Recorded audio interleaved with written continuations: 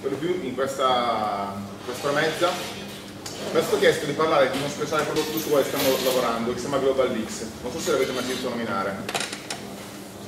Beh, comunque è un, un sistema che eh, garantisce l'anonimato delle fonti che siano delle notizie giornalistiche e di conseguenza è uno dei primi sistemi che si affida alla rete Tor. Solo che anziché spiegare questo progetto, per riuscire a fare più un cappello sulla questione di sicurezza delle telecomunicazioni e anonimato della, della persona che, che sta online, questa conferenza per lo più parlerà di anonimato tecnologico. È più o meno quello che vi aspettavate? Avete già esperienza dall'uso di sistemi di anonimato?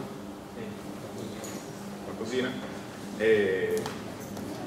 e boh. Dunque, l'elemento più classico che si immagina dell'anonimato è il fatto che mi presento con un, uno pseudonimo differente dal mio quando sono su social network piuttosto che quando sto interagendo con qualche eh, sito o persona. Il punto qual è?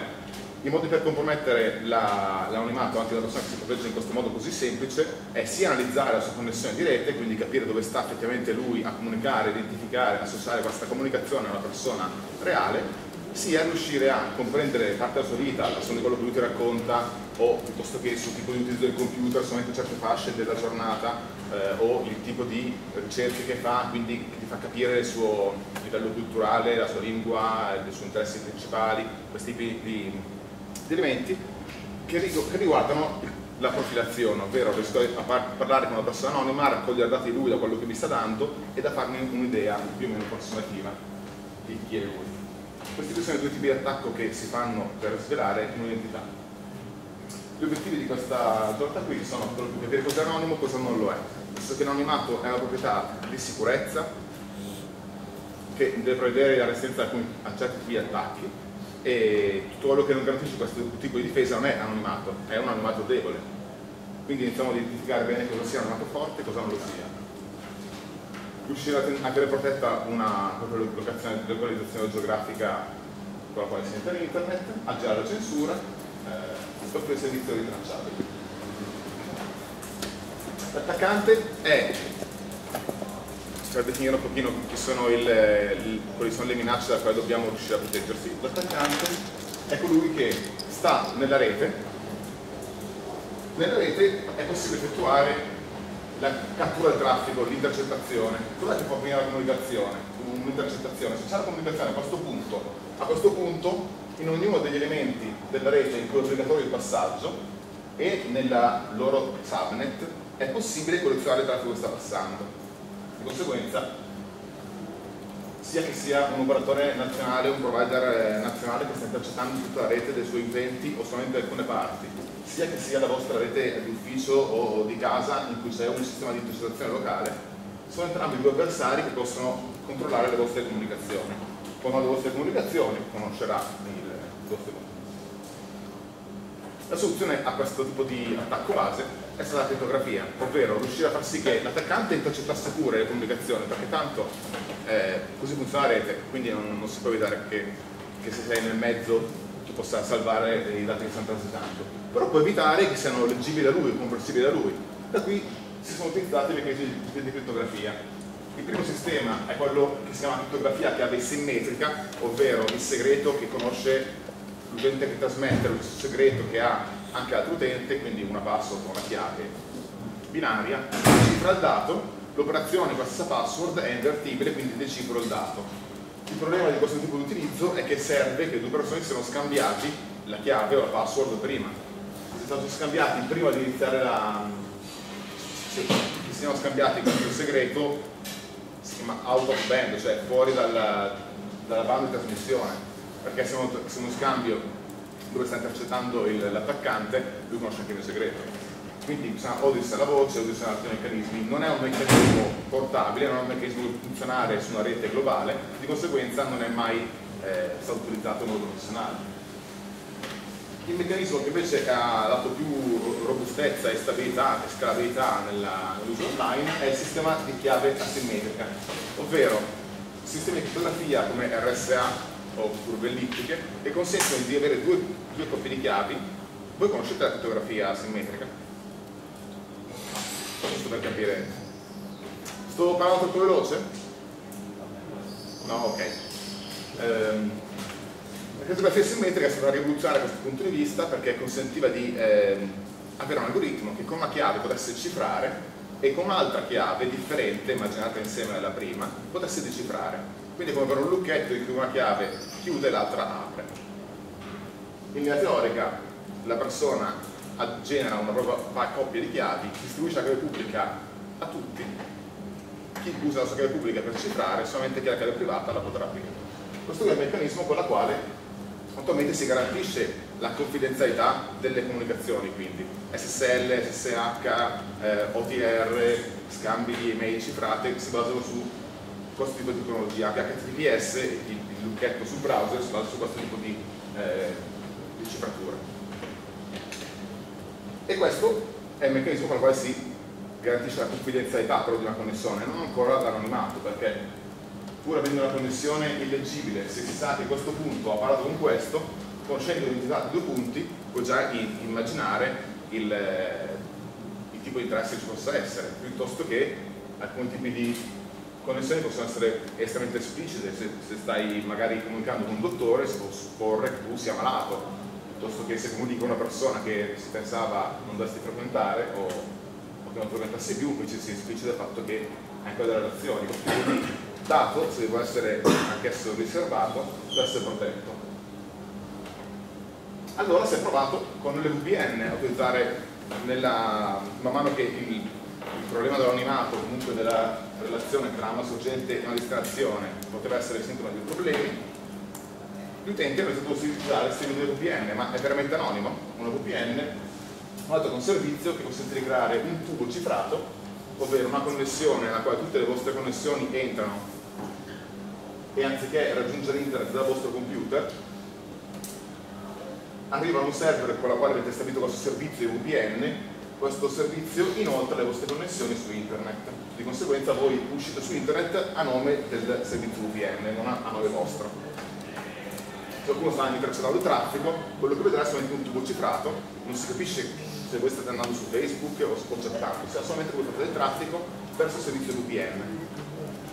Questo viene considerato anonimato finché eh, l'FBI non ha preso un gruppo di persone che si facevano passare per Anonymous, che utilizzavano sistemi di VPN, un giorno giustamente eh, gli entra in casa e questi dicono ma come? Noi eravamo anonimi, usavamo le VPN, eh, eh, ma le VPN non sono anonime perché sempre un server che ti dando un servizio, questo servizio tu per averlo pagato puoi usarlo in modo gratuito, fatto sta che lui ha i tuoi dati, ha la tua connessione e infatti la stai mettendo tu sopra una, un canale di comunicazione forzato per cui potrà intercettare quello che sta uscendo eh, a nome tuo, cioè a nome suo fatto da te. Allora la ricerca è proseguita e nel frattempo si capiva anche che l'avversario aveva un, pochino più di di potere di quello che si immaginava, se prima si analizzava solamente chi può intercettare il tuo traffico, adesso abbiamo visto che chi vuole scoprire il tuo anonimato potrebbe anche compromettere il servizio a cui ti stai avvalendo. Di conseguenza bisogna iniziare a, a pensare anche a delle tecnologie che possono resistere alla compromissione di un servizio.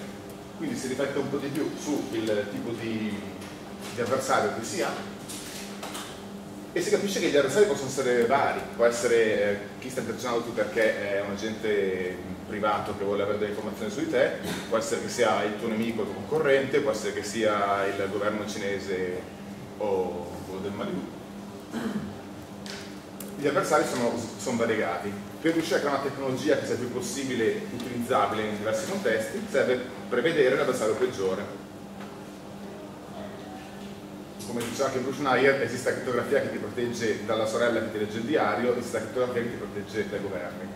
Quando si è un meccanismo, un metodo di sicurezza comprovato in modo scientifico, si presuppone l'avversario peggiore o più potente con più risorse a disposizione e, ed è su, su questo tipo di stima che si fanno le tecnologie di protezione. Nello specifico, eh, l'avversario ha come obiettivo quello di scoprire che l'utente A ha interagito con l'utente B e può essere sia un sito che un utente un servizio, l'avversario può controllare la rete e quindi intercettare la comunicazione, l'avversario può prendere il controllo dell'interlocutore, quindi essere una, un fitto destinatario e eh, cercare di scoprire chi ci sta dietro, può iniettare dati fasulli all'interno della rete per riuscire magari a stimolare dei comportamenti eh, da parte della persona anonima e, e fargli essere delle informazioni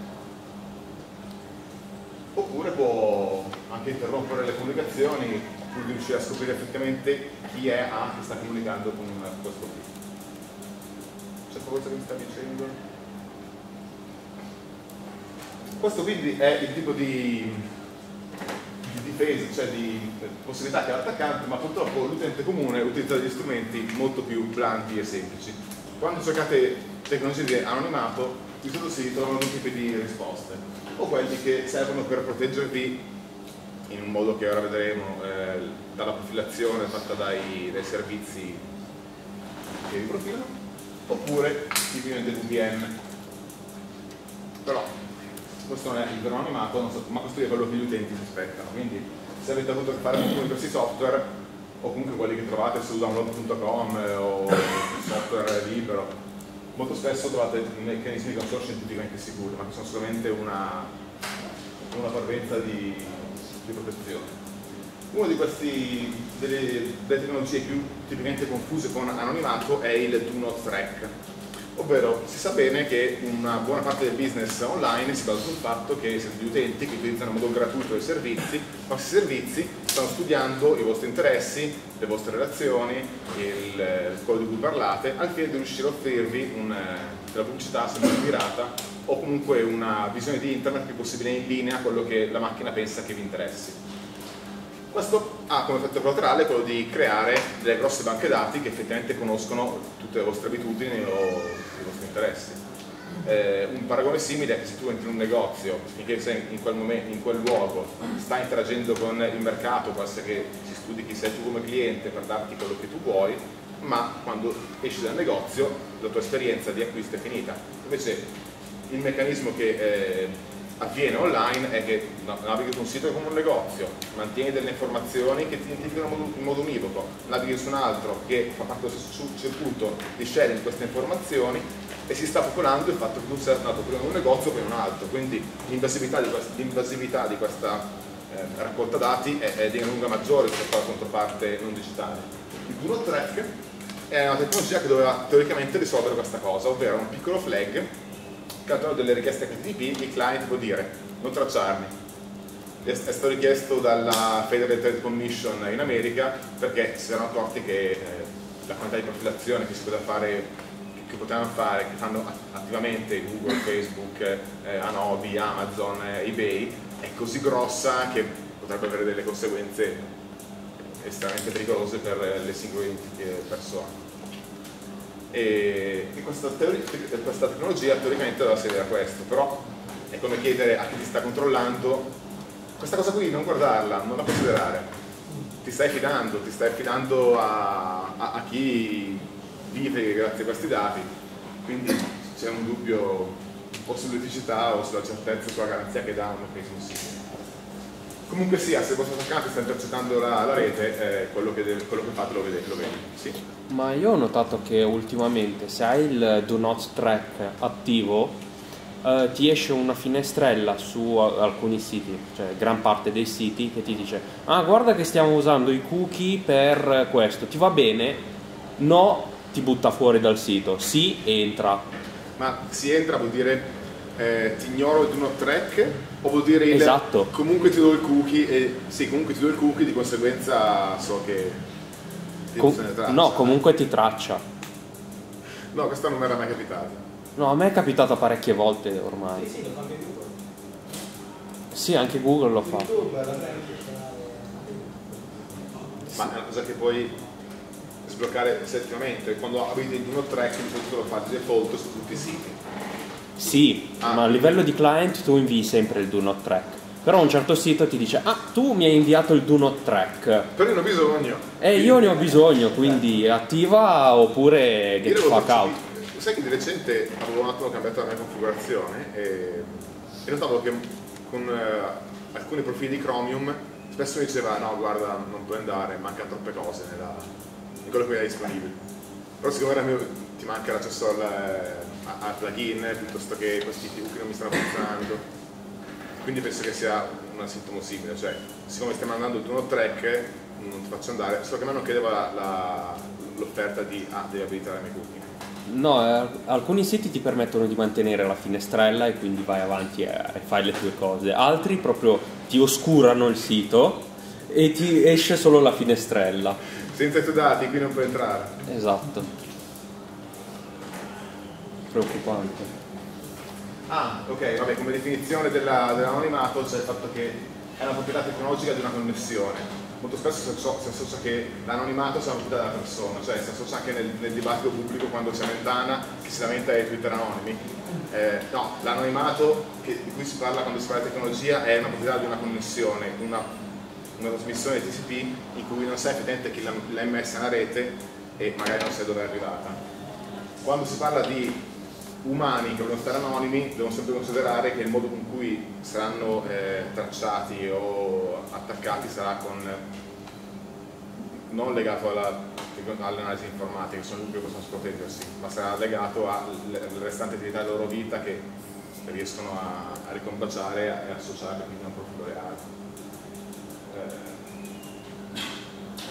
quindi niente, questa proprietà consente che i dati siano leggibili tanto al destinatario, quindi non siano accettabili, e che il destinatario non possa risalire a chi è. Gli utilizzi convenzionali o tipicamente utili dell'animato sono la protezione del, del dato dell'emittente, la riservatezza comunque della, della, confidenzialità, della confidenzialità di un certo tipo di comunicazione. Ad esempio c'è un servizio eh, che è in fase di studio. Voi sapete cos'è l'uroflussometria? Per fortuna no, però tutti quelli che hanno 300 anni iniziano magari a conoscerlo. È un problema che eh, cioè, è un esame che si fa per diagnosticare il problema della prostata. Eh, in pratica funziona con una rotellina sulla quale tu fai la pipì e lui riesce a disegnare un'onda un che dimostra l'intensità del, del, tuo flusso. C'è come in questo momento in studio un meccanismo per riuscire a farlo su app mobile, perché comunque sia di un modo o dall'altro per riuscire a misurare la velocità con la quale un flusso arriva in un contenitore o, o, si muove. Però qual è il problema? Se tu stai facendo un esame che, il quale comunque già il fatto di può essere un'informazione riservata o comunque personale e tu stai usando lo smartphone, il tuo smartphone è attaccato a una wifi aperta e chi intercetta quella rete sa che tu stai andando sul server dell'uroflussometria da lì capisce una tua condizione personale senza capire il contenuto della connessione, solamente capendo il destinatario quando si parla di tutela riservatezza si parla del fatto che già il destinatario può essere comunque un elemento sensibile. E in questo caso si deve usare una connessione anonima apposta per far sì che anche chi intercetta la rete non sappia che tu usi questo tipo di servizi. L'anonimato serve anche in eh, tutte quelle eh, minoranze la quale espressione spontanea potrebbe suscitargli delle ripercussioni, che so, siete negli anni 70 e siete di colore, piuttosto che siete gay in Texas, eh, quando sei in minoranza cercare di eh, se non sei in uno Stato democratico o comunque sia, se non sei in uno Stato in cui la, la minoranza è tutelata, c'è il rischio che eh, la maggioranza ti stigmatizzi per quello che tu hai, hai esposto. In alcune situazioni di, di, di, di limitazione della, della, libertà di espressione, l'anonimato è l'unico meccanismo che c'è per potersi esprimere o coordinare o parlare è un po' quello che succede comunque negli stati del Sud Asia quando si sa del controllo controllo e censura per lo più su aspetti culturali e per cui chi non, è, chi non è d'accordo con questo tipo di cultura non ha accesso a quei tipi di risorse. Dall'animato si dà questa possibilità. E gli utilizzatori possono essere da aziende, governi che devono fare attività copertura, devono utilizzare questi tipi di sistemi, attivisti per i diritti vogliono proteggere persone magari in minoranza a rischio, cittadini normali vogliono proteggere le, informazioni sulla loro connessione. Eh, con un eh, flusso molto raggregolato in cui alterno il perché è utile l'animato e, il, e come si attacca l'animato, qui torniamo sul come sono stati attaccati VPN proxy anni scorsi. Eh, la VPN appunto ha questa limitazione dell'avere un nodo che sta offrendo un servizio e questo servizio può essere compromesso o da attacchi informatici o dal fatto che una forza dell'ordine va a chi, gestisce il servizio e dice dammi accesso a tutto se lo faccio chiudere. È successo così nel 1998 quando Scientology aveva fatto causa a un anonymous remailer, eh, anonpenalty.fi, è un servizio di mail anonime del tipo mi scrivo con la mia vera mail e tu mi dai un alias e io da te posso mandare delle mail con il tuo alias. Fatto sta che eh, il servizio teneva traccia dell'utente con la quale facevi login e del tuo indirizzo fasullo, di conseguenza il giorno che hanno compromesso quel, quel server hanno capito chi era la vera entità che era scritto nelle mail. Eh, JAP, Java Anonymous Proxy, era un servizio dato nel 2005 in Germania. La polizia, per riuscire a fare delle attività, ha fatto sì che il software utilizzasse una forma di crittografia più debole o che addirittura avesse il controllo costante della, della connessione e il salvataggio della connessione lato server, cioè lato servizio, e si è intercettata in questo modo il, il contenuto delle persone che stava spiando. Oppure appunto i tizi di Anonymous che sono stati scoperti perché pensavano essere anonimi, ma in realtà usavano HideMyS che è un sistema di VPN. Ma già non usavano una tecnologia tipo 2.8 per cui dovevano essere compromessi entrambi? E che era, era lo stesso servizio. Ora, io sinceramente non ricordo solo solo 2.8, però hanno cioè canale VPN e server VPN. No, sono due passi, però non. Comunque sia il servizio è solo uno, quindi il fatto che tu hai la possibilità di, di sapere cosa sia nodo di uscita, qual è la connessione in chiaro, di poterla salvare, o di indebolire la crittografia, perché comunque sia, eh, se tu una chiave che ti aspetti sia randomica, in verità è un, un pelo di quasi fisso, o con, con 5, 5 bit di entropia, appena l'attacchi la sai rompere, però chi sta facendo un'analisi passiva non se ne accorge che magari manca entropia nella chiave. Questi sono meccanismi con i quali tu puoi abbassare la sicurezza di una connessione pur utilizzando, cioè, utilizzando la crittografia. Per evitare le chiavi che vengono utilizzate, chi ha fatto la modifica lo sa, chi non l'ha fatta è seguito l'oscurity e deve scoprirlo reversando. E, però sinceramente non ricordo già come fosse fatto, come fosse fatto. So che erano stati usati uno di questi due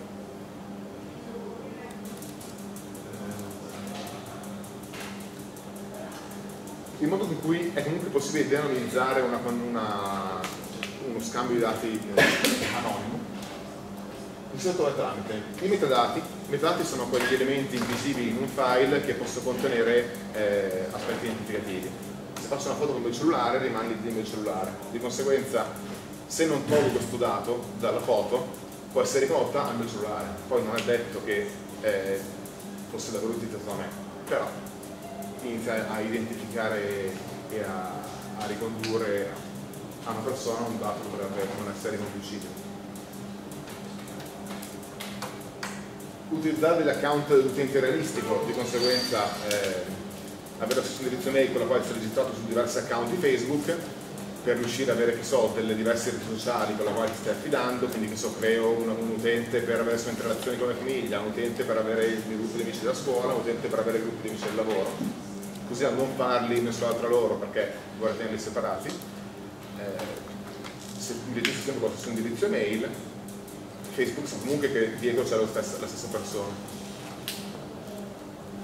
Oppure comportamenti univoci per cui stai condividendo i dati in modo riservato con qualcuno, ma eh, le persone che potevano avere questo dato sono due o tre, di conseguenza si riconduce comunque sia, non può essere qualunque utente online o tutta questa cosa, ma sono tutte persone del mondo reale. Uh, ora vediamo un sistema di attacco all'anonimato delle VPN che si chiama Passive Traffic Analysis, ovvero adesso l'attacco VPN che abbiamo visto richiede che venga compromesso il servizio, quindi ci sia un hacker che eh, viola il servizio, modifica eh, l'applicazione piuttosto che intercetta il traffico che è in uscita, piuttosto che le forze dell'ordine che eh, chiedono al, al gestore del servizio di fargli delle cose piuttosto che chi ti offre il servizio che in verità te lo sta dando gratuitamente perché vuole controllarti. E, ehm, però richiede sempre una componente attiva, ovvero devo fare delle modifiche all'applicazione, devo conoscere il sistema, non funziona ancora in modo scalabile questo tipo di attacco, quindi è un attacco che in pochi tutto sommato possono realizzare. Attacchi invece di controllo massivo sono molto più scalabili, basta una tecnologia sola per poter controllare milionate di utenti. La Passive Traffic Analysis proviamo a applicarla a un sistema VPN. Allora immaginiamo che abbiamo un, eh, un servizio che sta offrendo un servizio VPN e ha un po' di utenti, in questo caso 20. Noi stiamo controllando il server eh, che offre questo servizio e vediamo 20 connessioni cifrate che arrivano e inviano dati da un, da un utente, da un, da un, client a un server, cioè dal client VPN al servizio VPN. Da questo server VPN vediamo che escono 30 connessioni in chiaro, di varia natura, chat, Facebook, eh, web, tipo, mail, connessioni che stanno uscendo, 30. Quindi alcune di questi tubi cifrati magari avranno eh, una connessione solo stabilita, altre avranno tre, altre avranno due.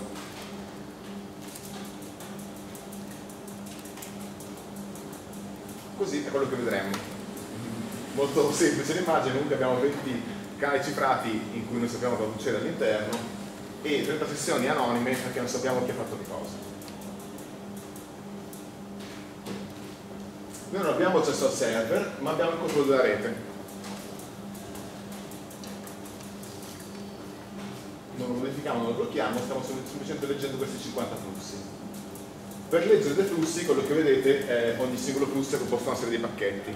Così sì, sembrerebbe se state facendo del traffico quello che, che, che vedete. Eh, pacchetti che compongono dei flussi. La cosa importante per questo tipo di analisi non è eh, analizzare singoli pacchetti in cui sappiamo che il contenuto è protetto dalla crittografia. Quello che ci interessa è capire la forma che ha il singolo flusso, la singola connessione, quindi se la connessione ha una forma particolare, so, HTTP è caratterizzato da una piccola richiesta iniziale e una grande eh, massa di dati ricevuti in seguito, mentre una chat è caratterizzata da tanti piccoli eh, chunk di dati che invii quando stai scrivendo e una, un arrivo costante di eh, piccoli chunk di dati che sono gli aggiornamenti della chat espressi in righe. Di conseguenza, analizzando una connessione cifrata, guardando solamente il tempo e la dimensione dei pacchetti, si può capire più o meno che tipo di protocollo c'è sotto. Però sta capendo il protocollo, non ancora chi ha fatto le cose. Quello che dobbiamo fare è una correlazione, ovvero riuscire a capire quali sono le connessioni, cioè riuscire a trovare che una connessione in uscita ha un tipo di forma e riuscire a cercare questo tipo di eh, pattern all'interno di tutti i cifrati.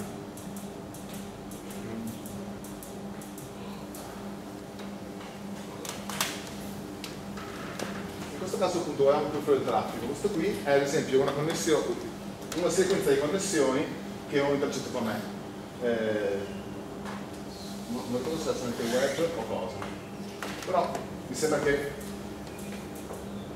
fossero degli aspetti di navigazione web, ovvero eh, faccio una piccola richiesta, ottengo tanto, tanto risposta, così probabilmente è un video che stavo guardando. Queste qui invece sono pagine magari con molti contenuti, queste qua sono pagine con meno contenuti, quindi quando tu fai la richiesta all'interno del tuo, della tua connessione HTTP, all'interno della, della tua connessione, poco dopo otterrai una risposta. Questo tipo di pattern lo si vede sia nel traffico in chiaro che si sta intercettando ma non si sa a chi attribuirlo, sia si vede anche nel traffico cifrato. Quindi mettendo ognuna di queste, comparando la, il profilo, purtroppo mi che ho ripetuto la, la slide comparando il profilo eh, delle, delle, varie connessioni si, si, possono trovare delle connessioni che sono sicuramente all'interno di quelle cifrate e da lì correlate. Mi sono spiegato bene? Mi sembra stato un po' confuso qua. Hai capito? Ah, ok, grazie. Allora la soluzione che la comunità scientifica ha tratto giù, ha tratto fuori già da, da molti anni sono le mixed network. Le mixed network riescono a garantire il, il, massimo livello di anonimato che si può fare e vengono in varie salse utilizzate.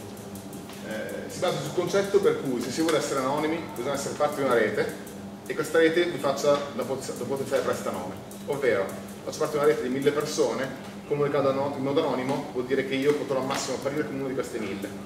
Se la rete è di milioni di persone, la possibilità che eh, tu sia anonimo è maggiore. Se la rete anonima la usano molte poche persone, anche se sei anonimo all'inizio di questa rete, eh, comunque sia può essere identificato. Perché l'anonymity set, ovvero la quantità di persone che fanno parte di un gruppo che si mette a disposizione per anonimizzare eh, i propri membri, deve essere una certa dimensione per poter essere sensata. Queste tecnologie comunque si basano quindi sulla collaborazione degli utenti, esistevano già dagli anni 80 e il primo meccanismo eh, serio che è stato utilizzato era quello degli anonymous remailer. Ovvero, immaginate in uh, una rete di entità anonime, di utenti anonimi, una persona vuole comunicare con una destinazione, il fatto che lui sceglie questo servizio o questo o questo, non si sa, è indifferente l'algoritmo glielo, permette, di conseguenza chi analizza la rete sa che ogni utente potrebbe andare su qualunque macchina, da qualunque macchina in cui arriva un dato viene poi inoltrato, viene inoltrato un'altra volta, viene inoltrato un'altra volta, quando esce è stato impossibile per analizzare la rete e ricondurre il mittente destinatario e nel frattempo l'informazione è uscita anonimizzata. In questo modo, avendo quindi più rimbalzi vostra, eh, del vostro dato comunicato, eh, fate in modo che non dipendete solamente da un elemento. Se si dipende da un solo elemento, come era nel caso VPN, c'è un singolo point of failure, c'è un elemento che se attacchi riesce a comprometterlo. Nel momento in cui la affidi a una rete, non c'è più un singolo elemento. Supponiamo infatti che ci siano almeno tre eh, nodi di anonimizzazione quindi io mando un dato al primo, il primo passa al secondo, il secondo passa al terzo, il terzo passa al destinatario, se il, il, a essere compromesso è il primo nodo, quello che vedrà è solamente io sto mandando un, un messaggio, ma non conosce né il contenuto, non è il destinatario finale. Se viene compromesso invece il secondo eh, nodo, conosce che c'è un dato che viene dal primo nodo ma non sa da chi viene originariamente e sa che deve andare al terzo ma non sa che andrà in seguito. Se invece sto compromettendo il terzo nodo, so che arriva un dato anonimo ma non so a chi va ma non so chi me l'ha generato. Di conseguenza eh, serve compromettere al, più di almeno due nodi per riuscire ad avere della, dei dati dei dati di analisi possibile e più sono tanti di punti che analizzano più difficile averne compromessi abbastanza per poter portare questi attacchi. Questo richiede che ci sia però un meccanismo di cifratura, ovvero che chi eh, deve avere un'operazione inoltre al dato che poi consegna al mittente finale sia l'unico legittimato a leggere questo dato. Allora si è creato questo tipo di stratificazione. Pensate ad avere un, un messaggio, un dato, dove riuscire a mandarlo in modo anonimo al destinatario. In questo caso si, mm, questo è quello che succedeva con gli anonymous remailer, eh, si creava un'email che era cifrata inizialmente per il destinatario, poi la cifravo per il remailer, quindi il servizio che ti mandi in altro email,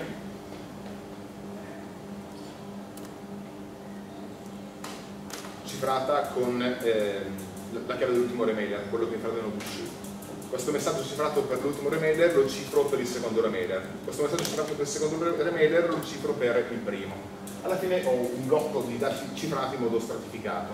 Quando consegno questo blocco al primo remailer, al primo nodo, solamente lui è legittimato a conoscere il contenuto perché l'ho cifrato per la sua chiave pubblica. Quindi lui è l'unico a dirlo. Troverà all'interno un messaggio per un altro remailer, cifrato per la chiave dell'altro remailer. Lo consegnerà e solamente il secondo remailer avrà la possibilità di aprirlo. In questo modo si sta cons conservando la, eh, la, riservatezza del dato e si fa sì che in una catena di eh, nodi che stanno collaborando tipo di scopo si riesce a creare una comunicazione anonima. Quando l'email esce dal terzo remailer si sono perse le tracce e per la spiegazione prima dei, del minimo 3 hop si garantisce il fatto che anche con la comprensione di un nodo non si sappia chi ha fatto che cosa.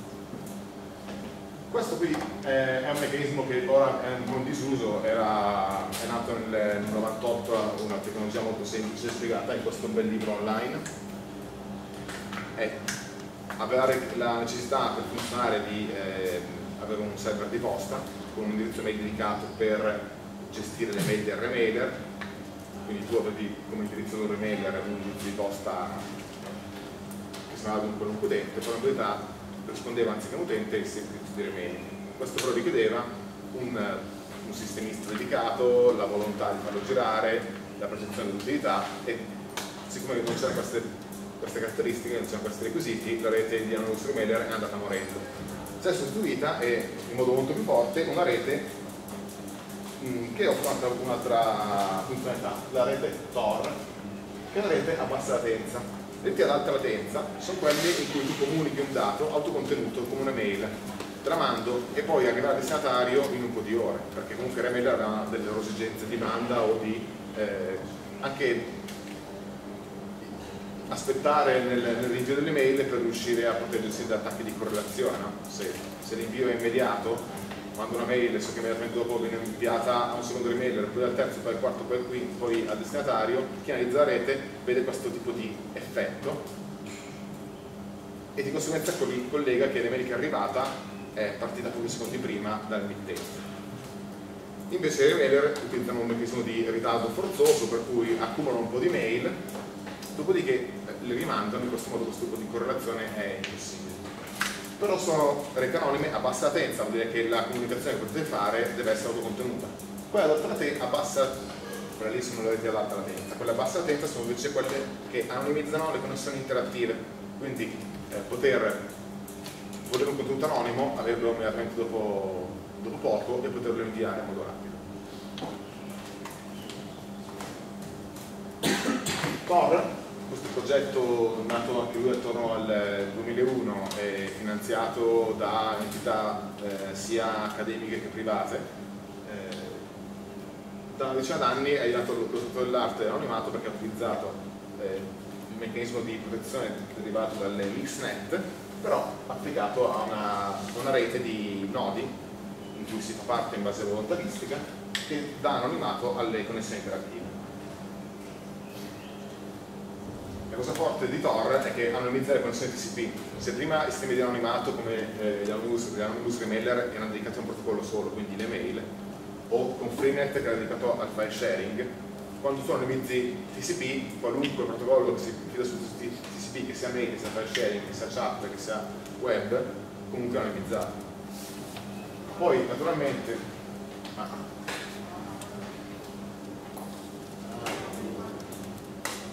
Ok, come funziona Tor di conseguenza? Con lo stesso concetto più del, del blocco di dati cifrati in modo certificato. Con tre chiavi Alice invia un, eh, un messaggio a il, nodo R1, il nodo R1 è quello con la chiave verde, toglie il suo lato di in questo caso indicato col verde, lo invia al secondo, lo invia al terzo, arriva al destinatario riescono anche a gestire le, le, le connessioni di troso perché c'è uno scambio di chiavi tra Alice e R3 e di conseguenza imposterà R3 per dire dopo dovrai rispondere usando queste chiavi a ritroso per poi far arrivare a me il contenuto. Ciononostante, anche Tor, per quanto sia sotto all'arte, sia il, la rete che rendendo utilizzabile in modo facile l'anonimato eh, più sicuro, ha ancora delle, cioè, anche lui delle possibilità di, di violazione. La prima cosa è una tecnologia, di conseguenza più il tuo avversario è motivato, più non ti attaccherà sul lato tecnologico ma su quello umano, quindi troverà correlazioni tra il comportamento eh, nella vita reale e comportamento nell'attività online, anche se in modo anonimo. E questo è quello che è successo per l'appunto eh, quando c'erano questo gruppo di persone che spacciava costantemente Silk Road ma eh, tramite l'infiltrazione di un agente, anche se le persone sono anonime, quando eh, riesci a avere un agente infiltrato che può comunicare con le persone anonime, da lì capire dei dettagli sulla loro vita, riuscire a restringere l'anonymity set perché le persone che rispondono a questi dettagli sono comunque poche, fare il lavoro di analisi alle, alle spalle e da lì riuscire a trovare effettivamente che la persona che sta utilizzando Tor in verità è quello che ha individuato e da lì catturarlo. Eh, Interessante invece anche un evento con dei gruppi di Anonymous eh, sudamericani che hanno preso come due nemici gli Zetas, che è un gruppo di narcos eh, messicani, in cui uh, con minacce del tipo ah avete minacciato una persona che fa parte del nostro gruppo, allora noi libereremo i, dei dati che parlano della vostra organizzazione. Se liberate i dati della vostra organizzazione noi uccideremo tutte le vostre famiglie.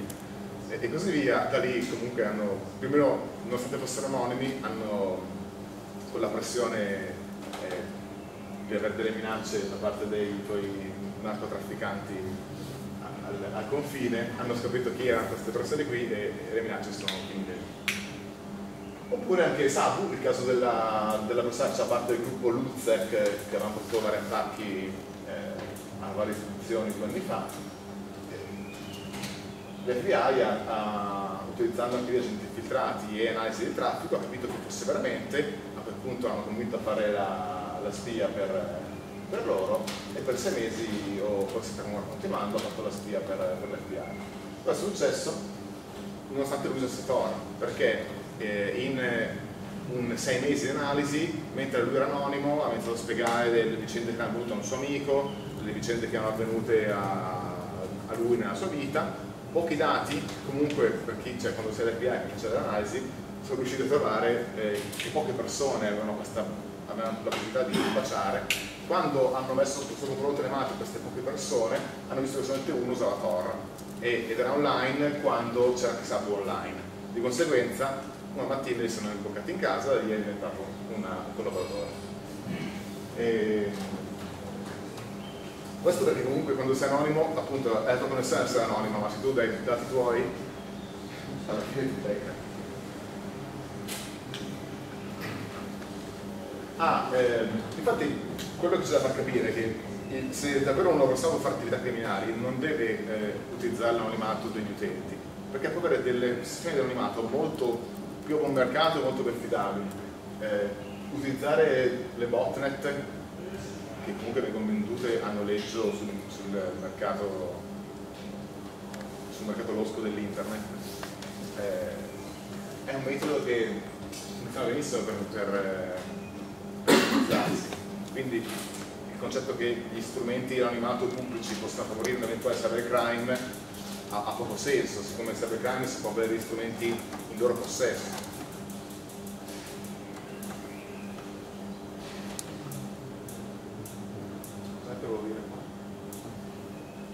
Ah, c'erano un po' degli attacchi che sono stati fatti su faccio da parte della rete, ovvero, ah sì.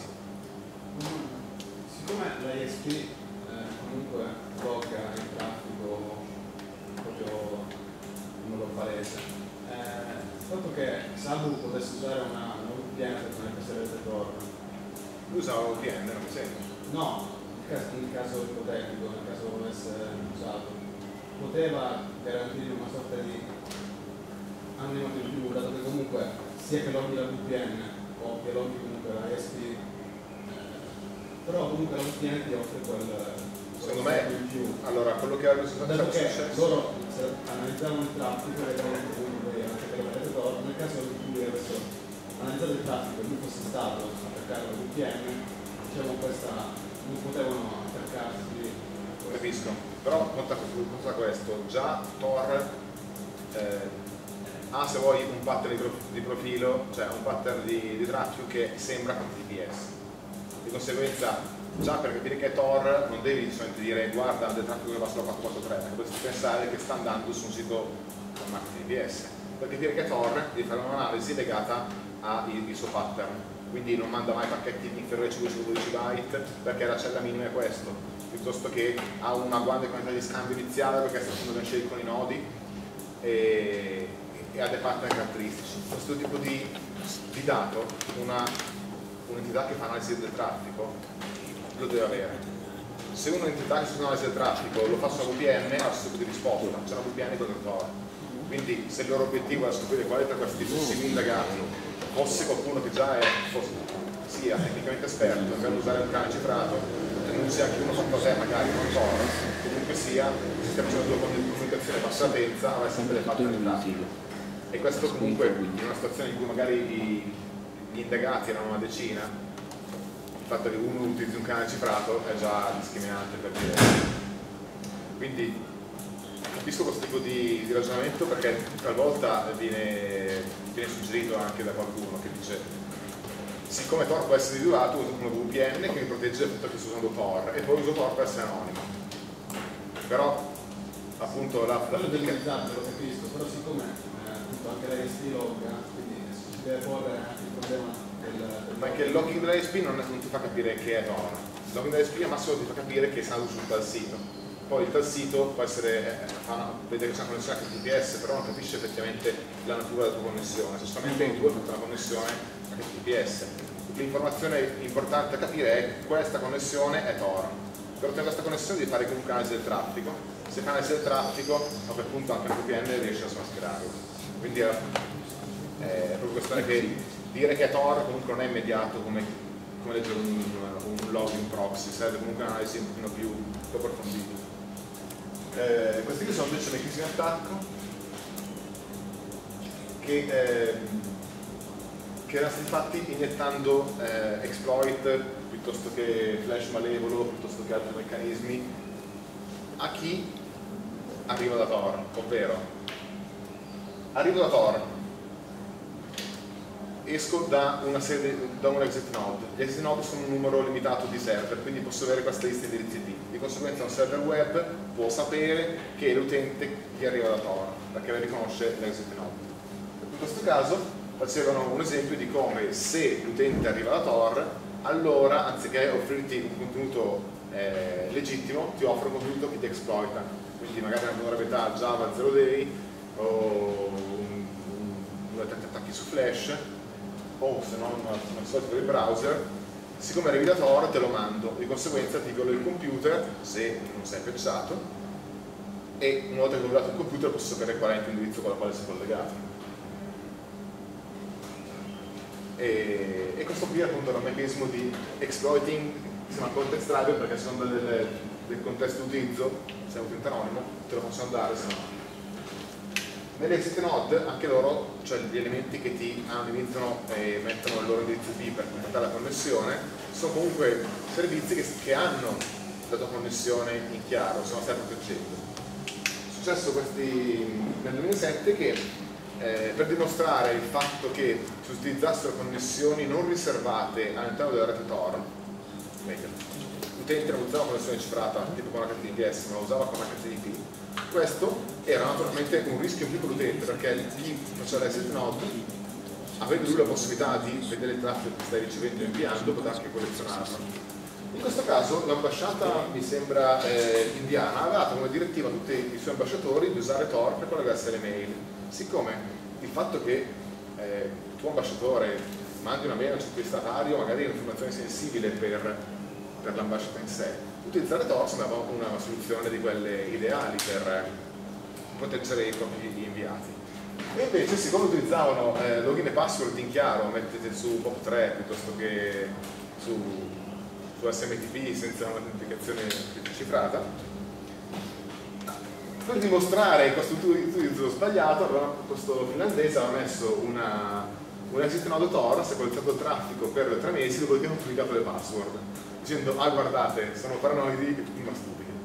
Eh, perché non stanno girando la loro connessione la soluzione eh, che spiega Tor è che devi comunque avere una, una crittografia end-to-end cioè una protezione che parta dal tuo client e arriva al destinatario. In questo modo eh, sia l'exit node che il provider che il, il, server il server chi sta analizzando il traffico del server destinazione non possa intercettare il tuo contenuto perché saprebbe che è un contenuto anonimo, però tanto l'accesso al contenuto potrebbe comunque essere rilevante eh,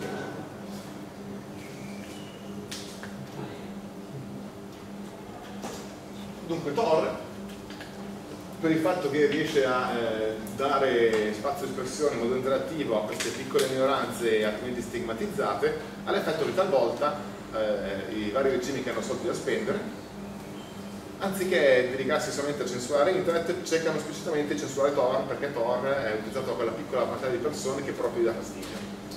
Allora questo è per esempio di quando eh, la Cina si è messa a mappare tutti gli indirizzi dei, degli, dei servizi, dei, dei computer che sono esposti, che utilizzano Tor, a partire da Tor, e appena c'è una connessione verso uno di questi indirizzi la interrompeva e questo è stato l'effetto, giustamente dalla Cina non c'è stato più nessun utilizzatore Tor.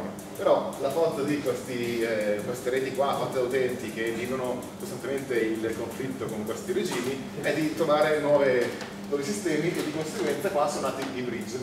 I bridge non sono altro che delle, dei servizi che fanno da entry node per, per la Tor, l'entry node è il primo nodo a quella fili, l'exit node 50 minuti ti dà l'uscita e in questo caso l'entry node doveva essere una risorsa non distribuita in modo pubblico perché altrimenti sarebbe stata mappata e individuata. Allora in, con il meccanismo di, di, condivisione del bridge si faceva sì che c'era una, una, lista di eh, entry node Tor gli utenti li richiedono, vengono dati degli entry node randomici e in questo modo se anche un utente fosse parte del governo e vuole avere purtroppo pochi indirizzi per bloccarli, ne avere sempre pochi per volta e cambiano spesso, di conseguenza si riesce in questo modo a far sì che rimangano segreti questi, la maggior parte di questa pool di, di entry node. Eh, vedremo altri tipi di attacchi difese, però in questo momento vi lascio la pausa da 10 minuti, posso già delle domande. Pausa.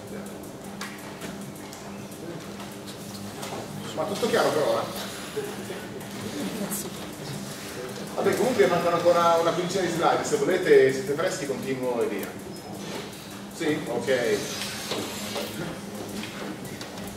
Quello che è successo dopo, tra l'altro, è che eh, la Cina a, quel, a, quel, a, quel, punto non faceva ancora un'analisi del pattern di traffico, no? Perché è molto oneroso in termini di,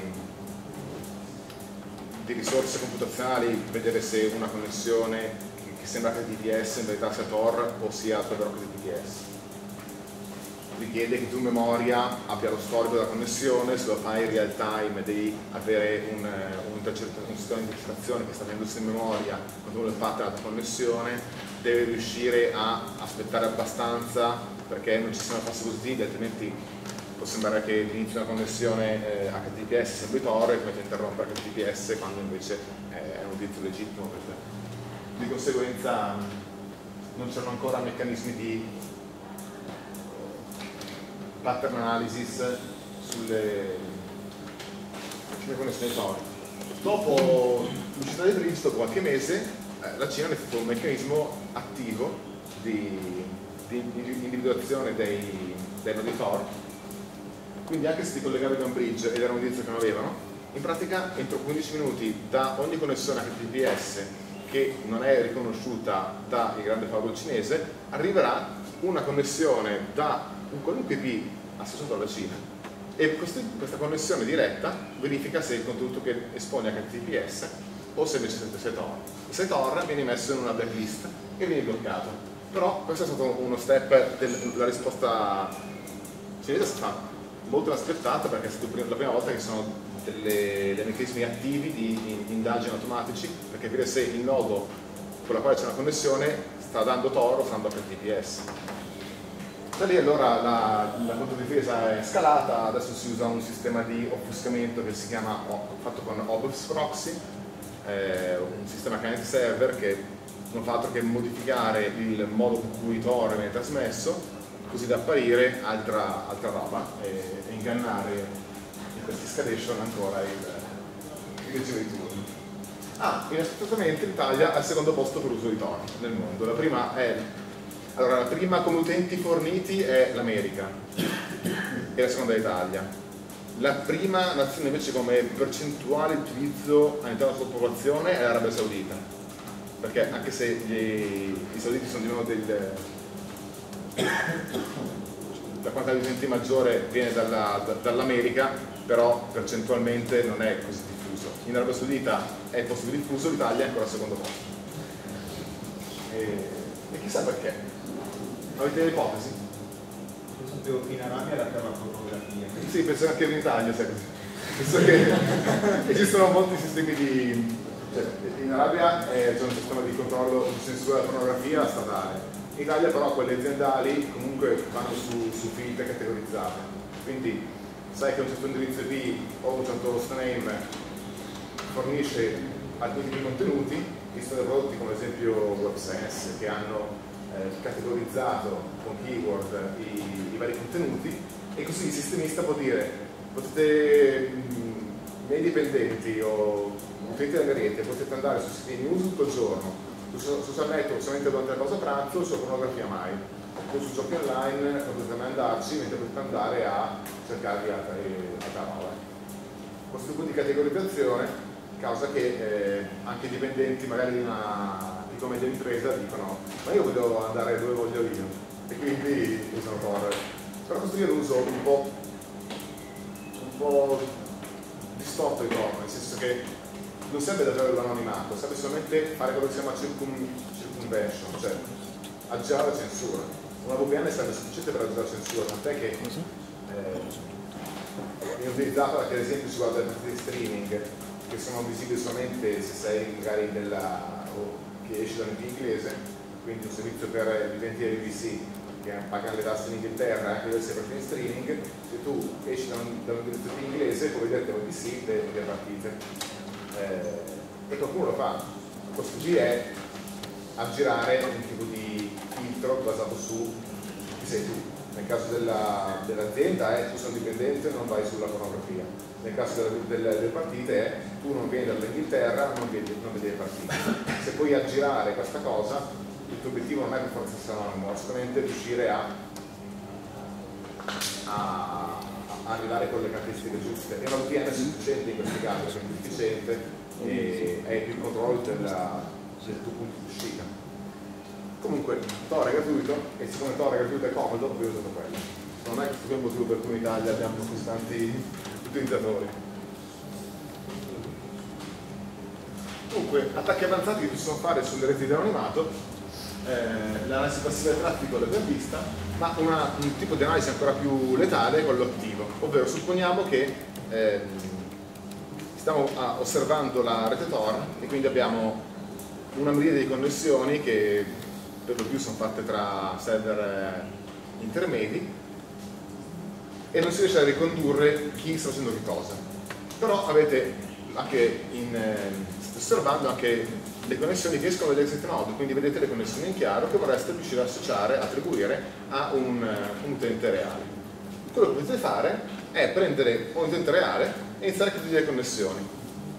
Chiudi prima uno, poi chiudi l'altro, poi chiudi l'altro.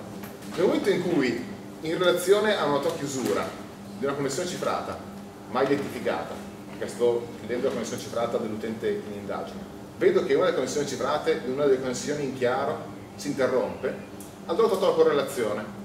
Quindi immaginate che c'è un calderone in cui la roba viene anonimizzata. Però a questo punto io posso arbitrariamente togliere una di queste persone che sta comunicando dalla rete. La sua connessione, siccome è interattiva, se si interrompe, allora ho associato che lui era proprietario di questa connessione. Questo è un attacco che si chiama attivo, è, teoricamente è possibile farlo, però all'interno del contesto di rischio si accetta ancora che, che non sia protezione a questo tipo di attacco perché comunque sia se, uno, se un attaccante ha la possibilità di toglierti dalla rete e tu stai facendo una connessione che devi ancora completare non c'è modo per riuscire a, a, a evitare che la tua sparizione dalla rete non causi che un'interruzione quindi che non sia correlata. Ciononostante è abbastanza cioè, così raro che si possa verificare o così poco rischioso che non è causato un problema Un altro meccanismo eh, avanzato per, per esporre utenti anonimi è, eh, è quello della lexical analysis, ovvero è stato studiato dal bel paper in che modo analizzando dei, dei, testi prodotti da un utente identificato, quindi sapere quali sono i testi prodotti l'ultimo anno, analizzarli, capire il modo con cui scrivo e può consentire l'estrazione di un profilo, un profilo di scrittura derivato da le parole così comunemente, compone le frasi, alcuni elementi correnti che hai. Una volta raccolti questi dati, comunque sia hai un dato molto personale. Una volta che hai profilato quindi i possibili utenti, puoi fare questa analisi, puoi fare questa analisi anche su dei contenuti anonimi. Se la, la firma, l'impronta, il tipo di pattern eh, linguistico che traspare i documenti anonimi è lo stesso che tu hai mappato, hai identificato che l'autore di questo documento anonimo è anche questo qua che abbiamo fatto prima e anche qui non è una cosa che si può risolvere con la tecnologia, si può risolvere solamente ricordandosi che una volta che sei anonimo, da quel momento in poi puoi solamente diminuire la tua, la tua quantità di anonimato, puoi solamente esporre gli aspetti caratteristici di te, che poi sia un metodato o che sia la storia del, del tuo amico con la quale poi eh, dai fugge il campo, o che sia il tuo modo di scrivere e, le tue, e, il modo in cui le frasi, sono sempre degli elementi di sé che si danno, che consentono di di ricondurli a, una persona. La Darknet invece è un uso di, di Tor un pochino più avanzato. Per adesso ho preparato di Tor o comunque anche sistemi di anonymous emailing come meccanismi per riuscire a dare un dato anonimizzandosi. Quello che si vuole ottenere con la Darknet invece è di offrire un servizio anonimo, ovvero che non si sappia dove sta fisicamente eh, che non si possa censurare perché non si capisce quale macchina è, eh, che non si sappia quali utenti si collegano a lui. Tor offre questo tipo di, di servizio, cioè di, il protocollo Tor supporta questo tipo di, di, tecnologia e consente di, a, a, a, qualunque utente di generare un indirizzo il quale la, la riga apparentemente randomica altro non è che un hash che serve per identificare la vostra chiave pubblica eh, che poi serve per riuscire a, a comunicare con voi consente a qualunque utente di crearsi dei servizi che siano personali associati a una chiave che solamente lui ha e dando in giro questo indirizzo si può far sì che altri postali con Tor si colleghino al tuo servizio. Il tuo servizio lo sta sul tuo computer, non c'è bisogno di IP pubblico, non perché sentono la rete e non usi l'IP, non, eh, non c'è bisogno di dominio registrato perché il dominio anche è la, la chiave, cioè l'identificativo della, della risorsa e questo consente la creazione di servizi anonimi con queste caratteristiche.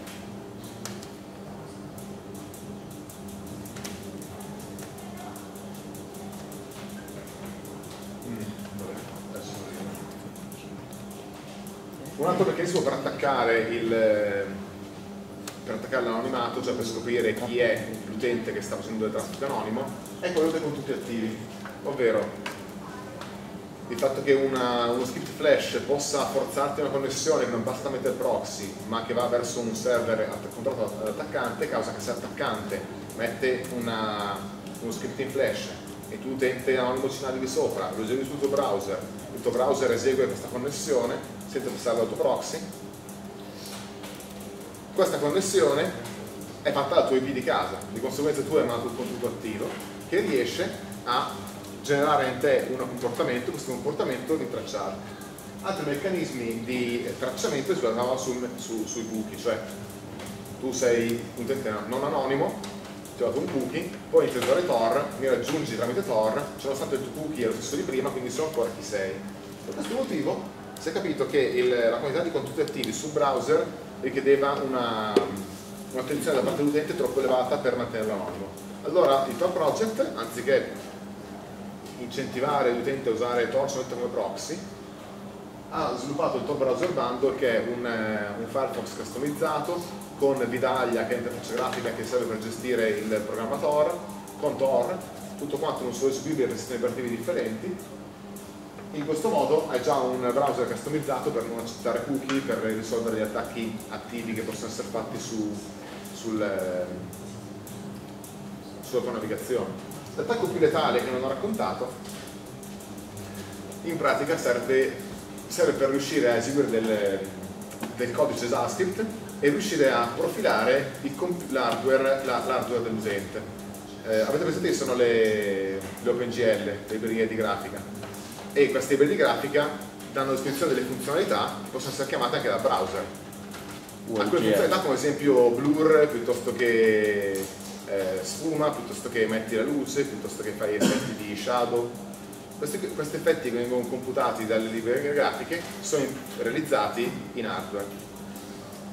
L'attacco consiste nell'avere un utente anonimo, mandargli un contenuto JavaScript JavaScript inizia a eh, realizzare alcune operazioni di blurring e shadowing grazie alla libreria JavaScript Canvas, Canvas consente di creare queste immagini, questi effetti.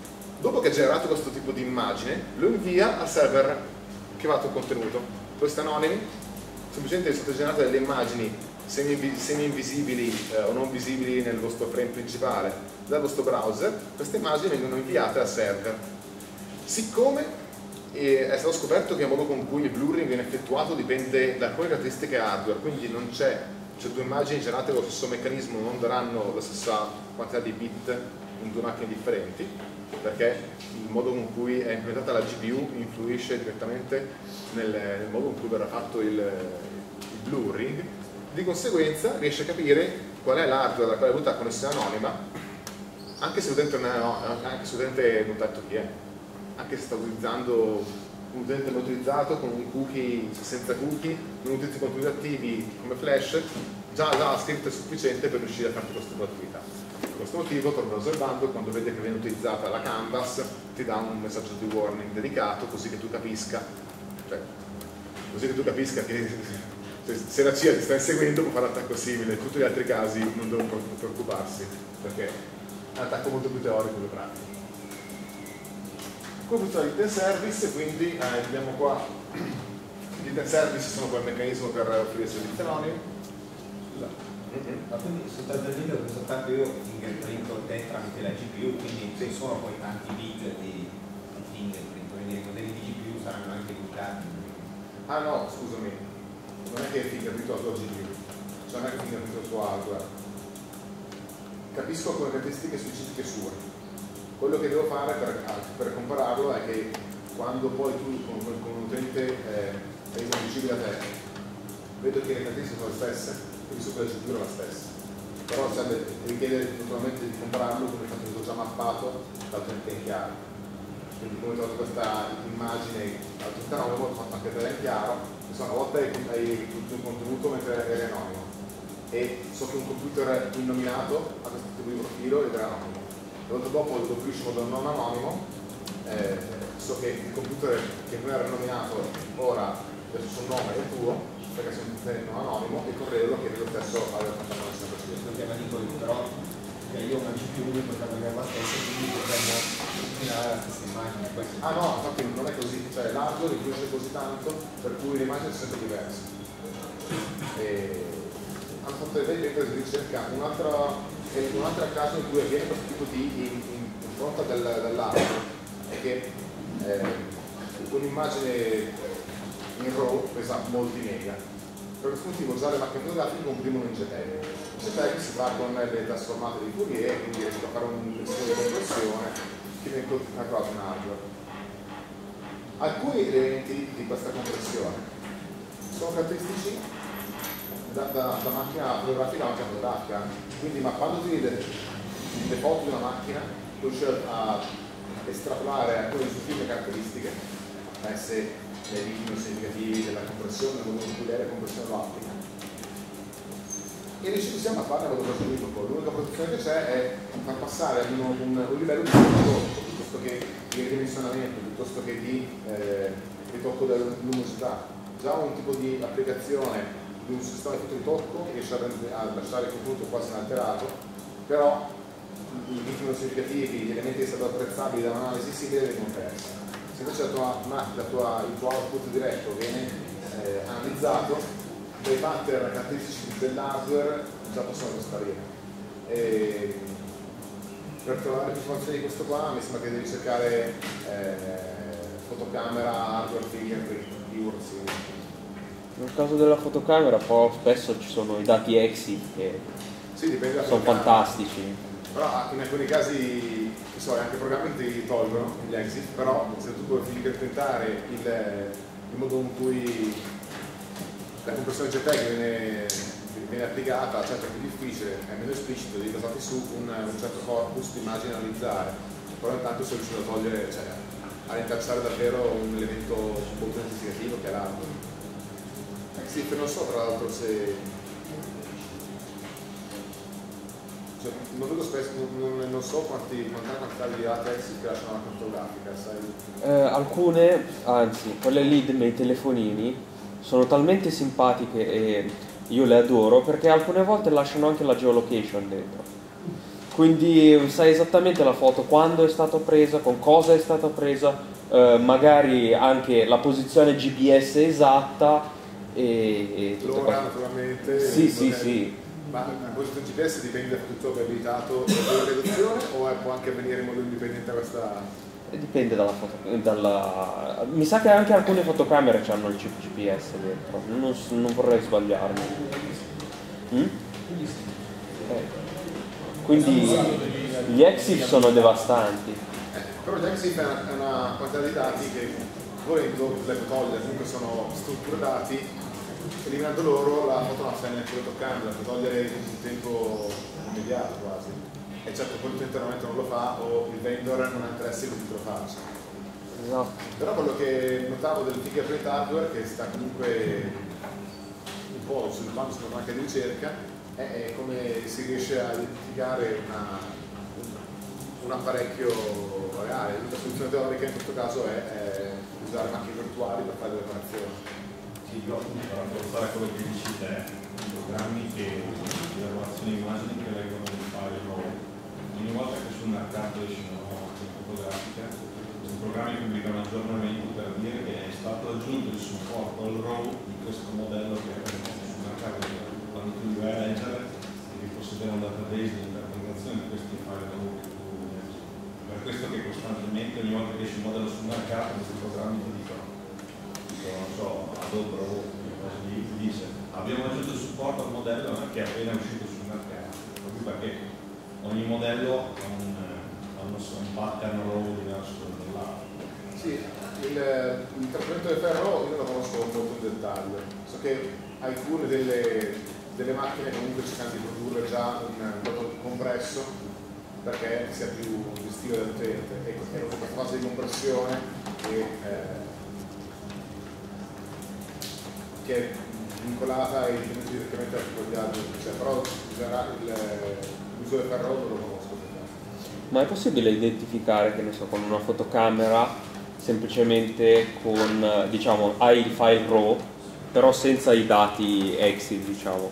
Dovrebbe essere eh, relativo e legato in qualche modo al sensore anche, al chip del sensore. Guarda, i dettagli su quello che lascia più l'impronta poi la, la, la, lista non me la ricordo. E, eh, sapendo comunque sono computazioni che vengono fatte in hardware, magari si nota che c'è un, un, comportamento particolare su alcuni, alcune sfumature, questo qui comportamento è quello che poi dà la caratteristica invisibile, cioè visibile a occhio nudo, visibile all'analista. Però anche lì è un, un, tipo di ricerca molto dettaglio che si chiama hardware fingerprinting, bisogna dedicargli del tempo dedicati. Come questo qui servirà per mostrarvi come, si, come funzionano i dead services, quindi come è possibile stabilire una, una, una comunicazione anonima con un, un server che non, non, dà, non, non, dice dove si trova. Bob, in questo caso il nostro hidden service, ha un, eh, ha un circuito, ovvero una connessione con, eh, con tre elementi anonimi, connessione anonima con tre servizi della rete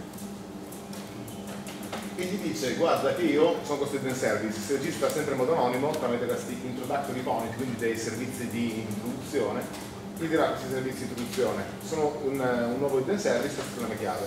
Siccome l'ha scelto in modo randomico, siccome sta in modo anonimo, eh, ha la, la, garanzia per cui non essere tutti quanti compromessi e che almeno uno eh, gli pubblicherà il dato sul database.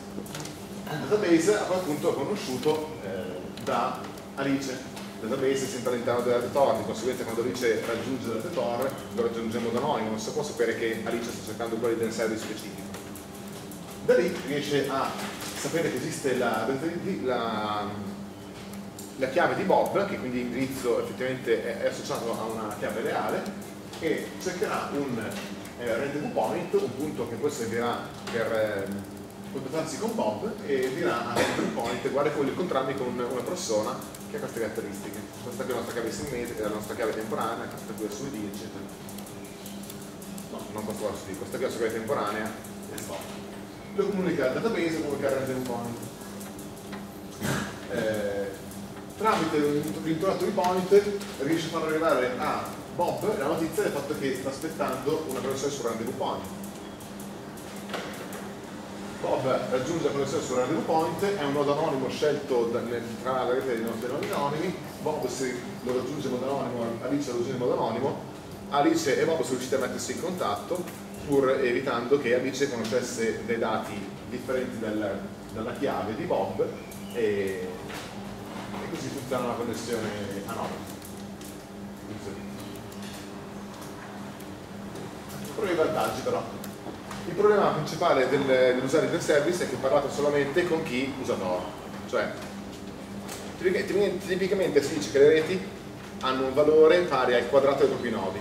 Cioè, più sono grandi le reti, più c'è possibilità che una persona eh, sia attratta da questa rete, perché più avrà la possibilità di trovare dei suoi conoscenti. A differenza tra Facebook e un social network che nasce dopo domani.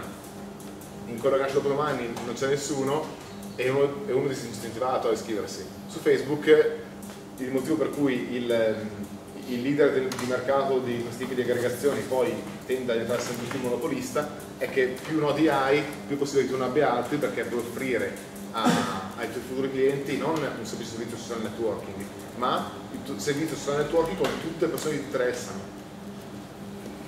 E eh, il problema del Predator è che viene utilizzata proprio più da utenti che fanno traffico in uscita, non che fanno servizi anonimi, di conseguenza a causa che meno utenti utilizzano Client Tor per utilizzare questi servizi e, e meno client ci sono, meno, meno, meno servizi saranno nel futuro. Quindi è un pochino il limite che c'è, di questa soluzione. Il vantaggio è che il server non è intacciabile, non si può sapere chi si collega, ogni connessione è anche eh, riservata e garantita dal punto di vista e non è censurabile perché non può capire dove sta.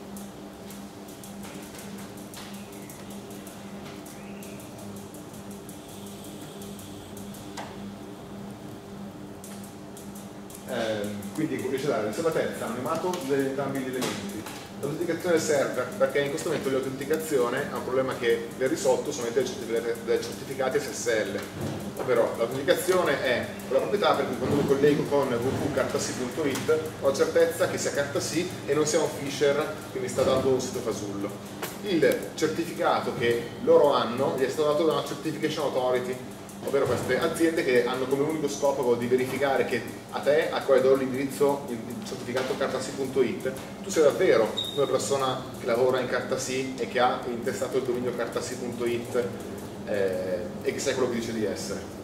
Loro in qualche modo svolgono questo ruolo di notai, di garanti, per cui se emettono un certificato firmato da loro, allora tu puoi fidarti in modo automatico che, eh, che l'emittente cioè il interlocutore è quello che dice di essere.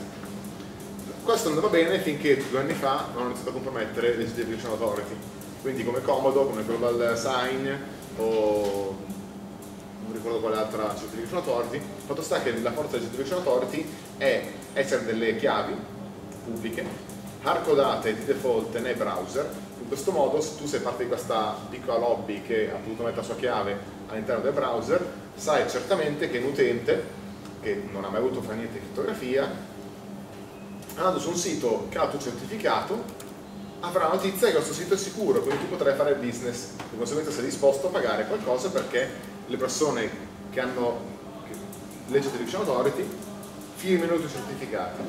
Così è come funziona quel modello di mercato.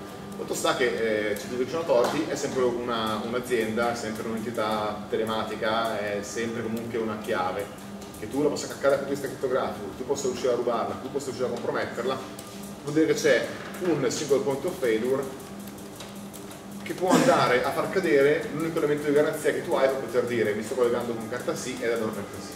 Nel caso di Tor, questo è dato dal protocollo stesso.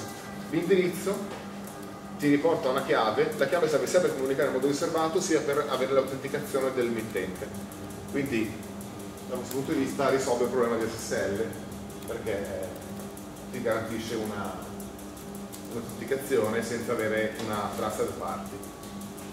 In più il fatto che tu possa esporti in un solo servizio TCP, quindi la mia porta 80 le espongo questo indirizzo, la mia porta 25 le espongo questo indirizzo, fa in modo che tu stai espondendo su Tor solamente con un servizio, quello che hai deciso. Alcuni degli attacchi telematici che si possono portare a un servizio invece si basano sul fatto che un solo server offre più servizi quindi voglio attaccarti il web ma da web non riesco a entrare, trovo che c'è posto, trovo che ci sono altri, altre cose esposte, posso utilizzare degli exploit, violare questo, quel server, da lì aver compromesso quello che mi interessava. In questo modo riesci invece a essere più selettivo. Sì. Quindi ogni volta? Sì. Come se fosse un, nome indipendente. Cioè, un nome casuale punto omino. Però noi abbiamo lo stesso asset No, no, non è appunto intendo dire per ogni porta, cioè ognuno di questi come funziona la configurazione? Tu decidi un tuo host locale o della tua subnet e nel file di configurazione Tor dici ora creami un Intel service che mi porti a questo questa porta. La tua directory per te per questo Intel service è poi puoi anche fare una seconda direttiva che è ora che non usi il service che va da un altro indirizzo a un'altra porta, la tua direttoria è Y.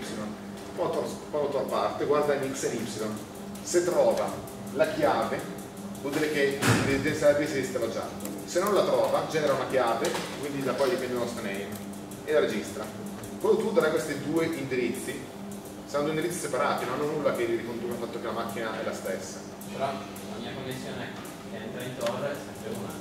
No, perché quando ho fatto vedere le connessioni erano in verità dei circuit.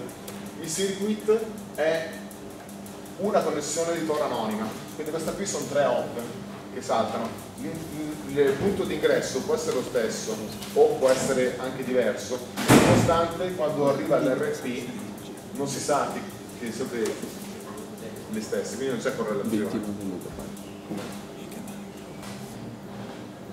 Ah, ho finito. E qui c'è un po' di bibliografia e se non siete troppo stremati vi posso parlare di Godalix. Avevo sentito qualcuno che consigliava per una funzione cambiare per essere particolarmente sicuro e rendere problematici i tracciati, a ogni pagina di stato funzione cambia identità per eh, stabilire un percorso nuovo, nuovo in grado in grado ulteriormente la mancanza, una cosa che Allora sì, cambia identità, non fa altro che farti rinegoziare un nuovo eh, circuito, di conseguenza cambi il tuo exit node. Puoi anche cambiare l'exit node in relazione alla paese da quale vuoi uscire e sì, cambiare identità spesso ti dà più possibilità di, eh, di far sì che apparentemente la connessione venga dallo stesso indirizzo. Può essere d'aiuto. Va detto che ogni volta che chiudi il browser comunque ti cambi il, ti rifai il tuo, il tuo circuit. Eh, volendo essere davvero paranoici, sì, a ogni pagina visitata dovreste cambiarla, però è una cosa per cui non, non apprezzo ancora una reale esigenza perché non esistono attacchi in grado di memorizzare o, o di capire il profilo di una persona anche avendo a disposizione un'intera connessione, cioè un'intera navigazione senza che si chiami identità. Comunque se fai una connessione anonima non dai in modo automatico i dati personali eh, in, modo, in modo eccessivo, quindi non è che... quello che ti rende più spesso esposto è quello che tu dici di te, quindi che tu stai cambiando l'identità costantemente o che non la cambi, comunque sia ti stai esponendo per quello che hai detto, oppure quello che invii in modo inconsapevole perché lo fa il, il tuo JavaScript piuttosto che perché lo fa uno script che ti sta girando sulla macchina. Quindi alla fronte degli attacchi che tipicamente portate anonimato non è col cambio frequente che avviene la, la, una protezione maggiore, però nulla ti nega di farlo, nulla ti impedisce di farlo perché non sa mai. Grazie. Eh, Quanto è reale il della compilazione da parte delle organizzazioni dentro i circuiti di Tor? Cioè che due su tre, cioè l'entry e l'exit, possono combaciare. Beh, se anche l'entry e l'exit combaciassero, Non che possono combaciare che fossero due, cioè questi sono controllati dalla dalla stessa tipo di organizzazione. va sui grandi numeri, però ci sono comunque migliaia di server online, eh, c'è un certo tipo di costo. Ci si chiede delle volte quanto sia possibile che, ehm, che un'organizzazione possa mettere su una grande quantità di macchine Amazon, eh, voglio dire, ora inizio a diventare il 5% di tutti gli exit node e quindi mi intercetto il 5% del traffico di uscita. È possibile, eh, non è ancora successo, si sa più o meno quando una persona crea tanti exit node perché fa parte di un'organizzazione, per esempio Tor Server, che, si, che provvede a dare servizio di gestire dei sistemi Tor ma riceve le donazioni per mantenerli, quindi è un po' come adotta il tuo Server. Eh, chi gestisce tanti, tanti exit node quindi normalmente è legato a questo tipo di, di scopi. Di solito gli exit node che nascono sono molto più caratterizzati da essere eh, reti diverse tra loro, non tipi contigui, eh, quindi diciamo che non sono dei pattern che possono farlo immaginare come plausibile. Anche se fosse possibile, eh, stai comunque cercando di catturare una piccola percentuale di dati nella rete. E ciò nonostante, Se, se combacia con l'entry node non è tanto piccolo, quindi quanto deve dare. cioè se interessante. Sì, sì, scusami, io sto pensando all'exit node perché esito quello, per quello che è successo una volta durante la, un due anni fa è che a un certo punto in due ore sono andati 309 exit node e dopo due ore sono scesi. Come se fosse una- un test di qualche tipo di organizzazione che, che vuole cercare di prendere una parte di eh, traffico del core creando exit node. Questo l'exit node è un rischio che mitighi solamente con l'end-to-end encryption, cioè cifrano il contenuto per destinatario, anche se l'intercetto non dice nulla, non sai chi l'ha fatto. La minaccia che a quale tu immagini, cioè il controllo sia entry node che exit node, sinceramente non ho mai visto nessun tipo di pattern che le possa far pensare e sono così tanti nodi Tor per cui temo che eh, la percentuale di, di circuiti che si esporre sia davvero eh, Che dove- Ma è un, è un- il punto è che la crittografia e l'anonimato non, vogliono- non possono proteggersi da tutto. Fanno sì che l'attaccante va a spendere molto di più. In questo momento se cercando di controllare qualcuno che sta usando una connessione cifrata, è già meno costoso utilizzare un Trojan. Quindi riuscire ad utilizzare un Trojan sul profilo comprato la tua macchina e da lì il fatto che la connessione sia cifrata o anonima è come se fosse un fotospalla quello che fa. Sì, però pensandoci non è neanche tanto costoso perché puoi buttare lì nel mezzo della mischia un computer in Svezia che tu paghi questo, questo computer che può essere qualsiasi, tipo GB di RAM, che che dà tipo quei 40 KB in uscita upload si può fungere da, Sull'exit node, però aspetta, o piuttosto che se pensi all'entry, all'entry non c'è nessuna notifica se non una persona sta usando una connessione anonima. Se tu hai entry e exit, puoi riuscire a dire questa persona ha fatto questa cosa, ma per riuscire a essere entry che exit, usando che li sceglie l'utente, qual è l'entry e qual è l'exit, li sceglie randomicamente, devi avere tantissimi. Questo dicevo, deve essere se invece ne è solamente uno, che stai collezionando del traffico in uscita, che eh, comunque sia la, la soluzione è quello che è successo in quelle due ore. È quello che è successo in quelle due ore però nonostante è comunque un infinitesimo. Se per caso lì in modo solo ha avuto quel- quell'evento non si è più ripetuto o almeno magari non in quel modo lanciato ma in verità magari adesso c'è una piccola percentuale di exit node di qualche tipo di agenzia che ha messo su dei suoi exit node rogue è sempre possibile che succeda e la responsabilità in quel caso sta all'utente cifra end-to-end e via. Però pensare alla creazione di- eh, automatica di nodi Tor per riuscire a essere entry che exit sapendo che lo sceglie l'utente randomicamente mi sembra dal punto di vista statistico molto più costoso che fare attacchi Trojan A- alla fine quello che, che si seduce è per l'attaccante quanto costa, ne vale la pena o ne vale la pena può valere la pena anche fare attacchi tempest cioè riuscire a, a vedere le emissioni del, le missioni del monitor del computer al di là dei muri costa un sacco però si dovrebbe fare dipende sempre da, da quanto vuole spendere l'attaccante Tempest attack sì, sì.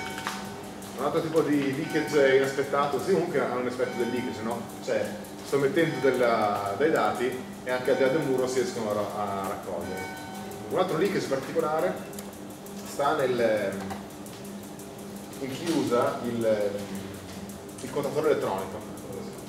Il contatore elettronico riesce a misurare con estrema precisione il, il tuo consumo e il tuo consumo è influenzato direttamente da quello che sta succedendo sul, sul tuo computer.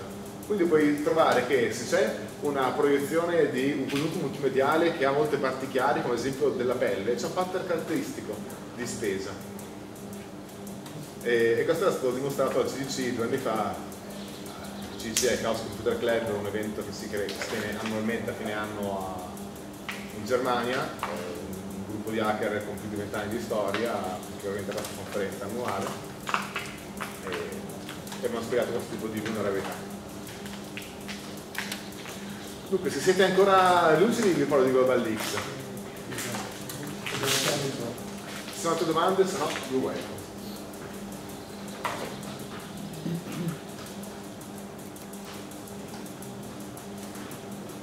Quindi Global X lo faccio un pochino meno tecnico perché per lo più spiega come un'applicazione della- dell'anonimato eh, ha dei risvolti specialmente utili.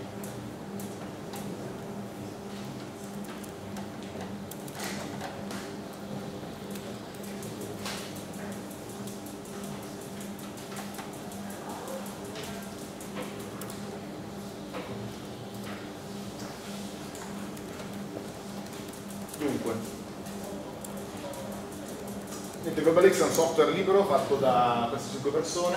Siamo un'associazione che si chiama Hermes Center for Transparency and Digital Human Rights. In pratica le nostre storie sono tutte diverse, per lo più eh, quello che ci interessa spiegare è perché le tecnologie che vengono attualmente usate sono un po' fraintese sia dall'opinione pubblica che dalla politica, che dai tecnici che la usano, che dagli utenti che affidano la loro vita a questa roba qua e in questa incomprensione stanno perdendo gli aspetti di, di diritti civili perché la loro vita viene dominata da tecnologie eh, che non rispettano forza questi tipi di, di leggi perché non sono legate al nostro Stato o che non danno le garanzie che sembrerebbe che diano in verità e, e per farlo capire abbiamo creato questa associazione che fa anche divulgazione. In più un progetto importante che abbiamo creato è GlobalX, che è appunto questo. GlobalX è un, eh, un progetto che ora ha più, più di due anni, eh, siamo stati finanziati nell'ultimo anno per sviluppare questa tecnologia. L'obiettivo di GlobalX, l'obiettivo di GlobalX è riuscire a eh, stimolare il fenomeno del whistleblowing. Chi di voi questa parola per ora? Whistleblowing, l'avete mai sentita o letta? Beh, comunque il whistleblowing, che è noto nel nord Europa, da anni a questa parte, diventa famoso dopo che Wikileaks fa esplodere il caso di Cablegate. Eh, ovvero, un, il sito Wikileaks che riusciva a ricevere segnalazioni da parte di whistleblower, ovvero le persone che davano le soffiate, pubblica questi dati e hanno il loro tipo di impatto. Wikileaks era in attività già da un po' di anni e da sempre sembra che accettava documenti e dati dati da, da utenti anonimi online. L'unico tipo di regola era il documento che invii non deve essere scritto da te. Quindi se hai qualcosa che pensi che sia utile eh, da conoscere, mandalo qua. È un approccio un po' eh, insicuro, se volete, perché era una comunità centrale. L'unità centrale non è dissimile dal servizio VPN che può essere compromesso o buttato giù o intercettato.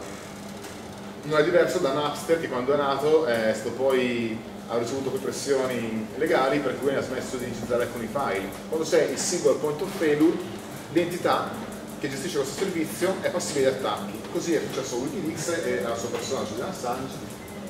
Ed è resto chiaro che non sarebbe mai successo più un fenomeno di trasparenza simile eh, gestito da un'entità centrale. Anche perché un altro limite di Wikileaks veniva chiaro, ovvero l'impossibilità di trattare dei, dei temi di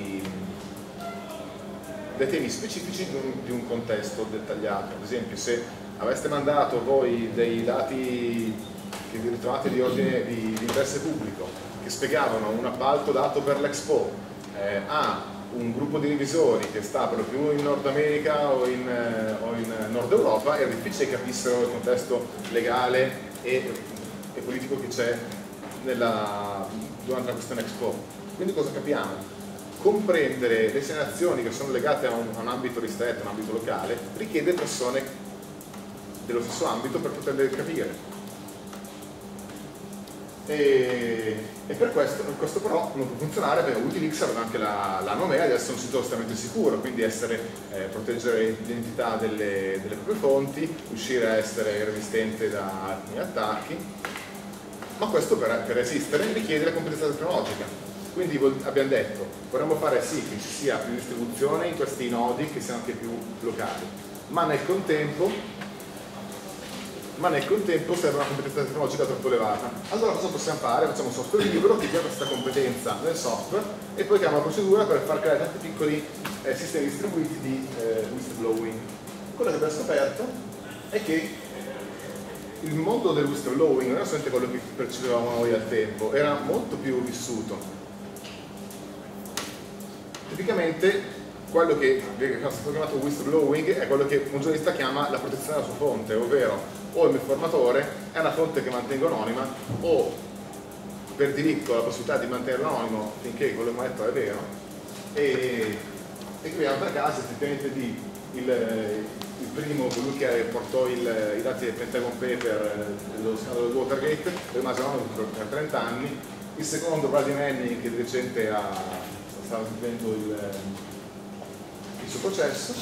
E il Sua Santità è il libro di Gian Ginuzzi in cui un maggiordomo del Papa si è messo a tirare fuori documenti riservati che erano solamente destinati all'ex Papa e ha cercato di tenerlo protetto finché però dopo le indagini non hanno esposto chi fosse effettivamente lui. Ecco, vediamo anche uno dei, dei, dei, motivi per cui è difficile che una fonte attuale possa essere tenuta anonima. Siamo una, una società totalmente controllata, con tecnologie totalmente pervasive e traccianti in tasca, quindi la possibilità che questi due tizi eh, fossero protetti nel loro animato era molto più difficile rispetto a quello che avveniva 30 anni fa. Quindi riuscire a dare una soluzione tecnologica che consentisse di portare allo stato dell'arte la protezione delle fonti per i giornalisti era il nostro goal. Eh, questo tipo di presentazione era fatta a festa del giornalismo, quindi comunque il target era giornalisti che devono capire perché gli possedere una tecnologia che gli garantisce che le loro fonti siano protette. Questo però magari causa che il terminologioso sta qua è meno tecnica di quella che aspettare. Eh, il punto qual è? Bisogna mettere in contatto un, una fonte, una persona che ha qualcosa da dire, che vorrebbe riuscire a comunicarlo a un giornalista, con il giornalista. Ma come si fanno a conoscere queste persone? Se si conoscessero non sarebbe bisogno di un sistema. Andrebbero, sarebbero di persona, si manderebbero una mail ed è risolto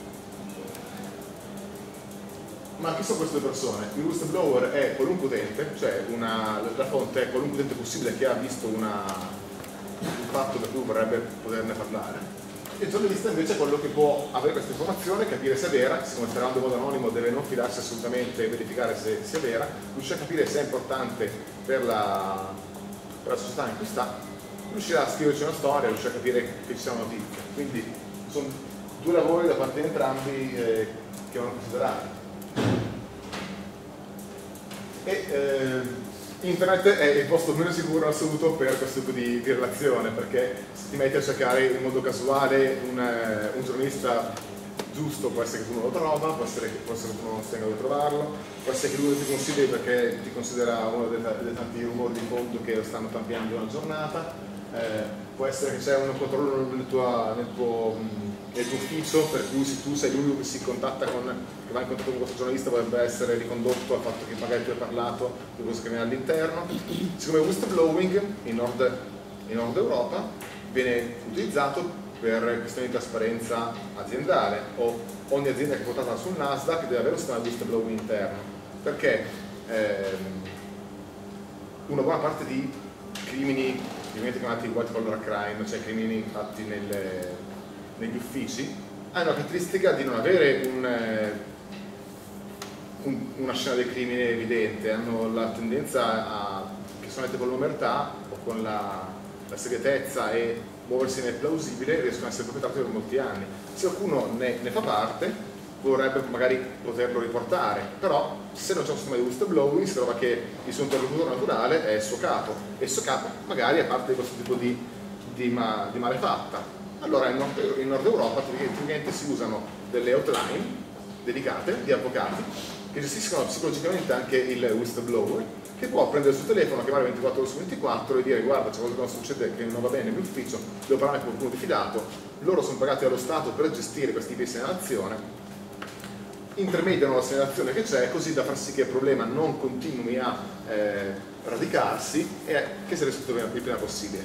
Nel 2002 il New York Times, me, ah, no, il Times, ha messo come nella copertina di fine anno tre whistleblower, una dell'FBI, una di Erron e una di Worcom, tutte e tre, eh, tre donne che hanno capito che cosa non stava andando, che doveva essere pubblico quello che succedeva perché era potuto portare a un crack finanziario o a delle cattive indagini o alla verità sulle eh, indagini sulle torri gemelle e di conseguenza hanno fatto questa, questa attività di di vedetta civica, così si traduce in italiano. Whistleblowing, vedetta civica.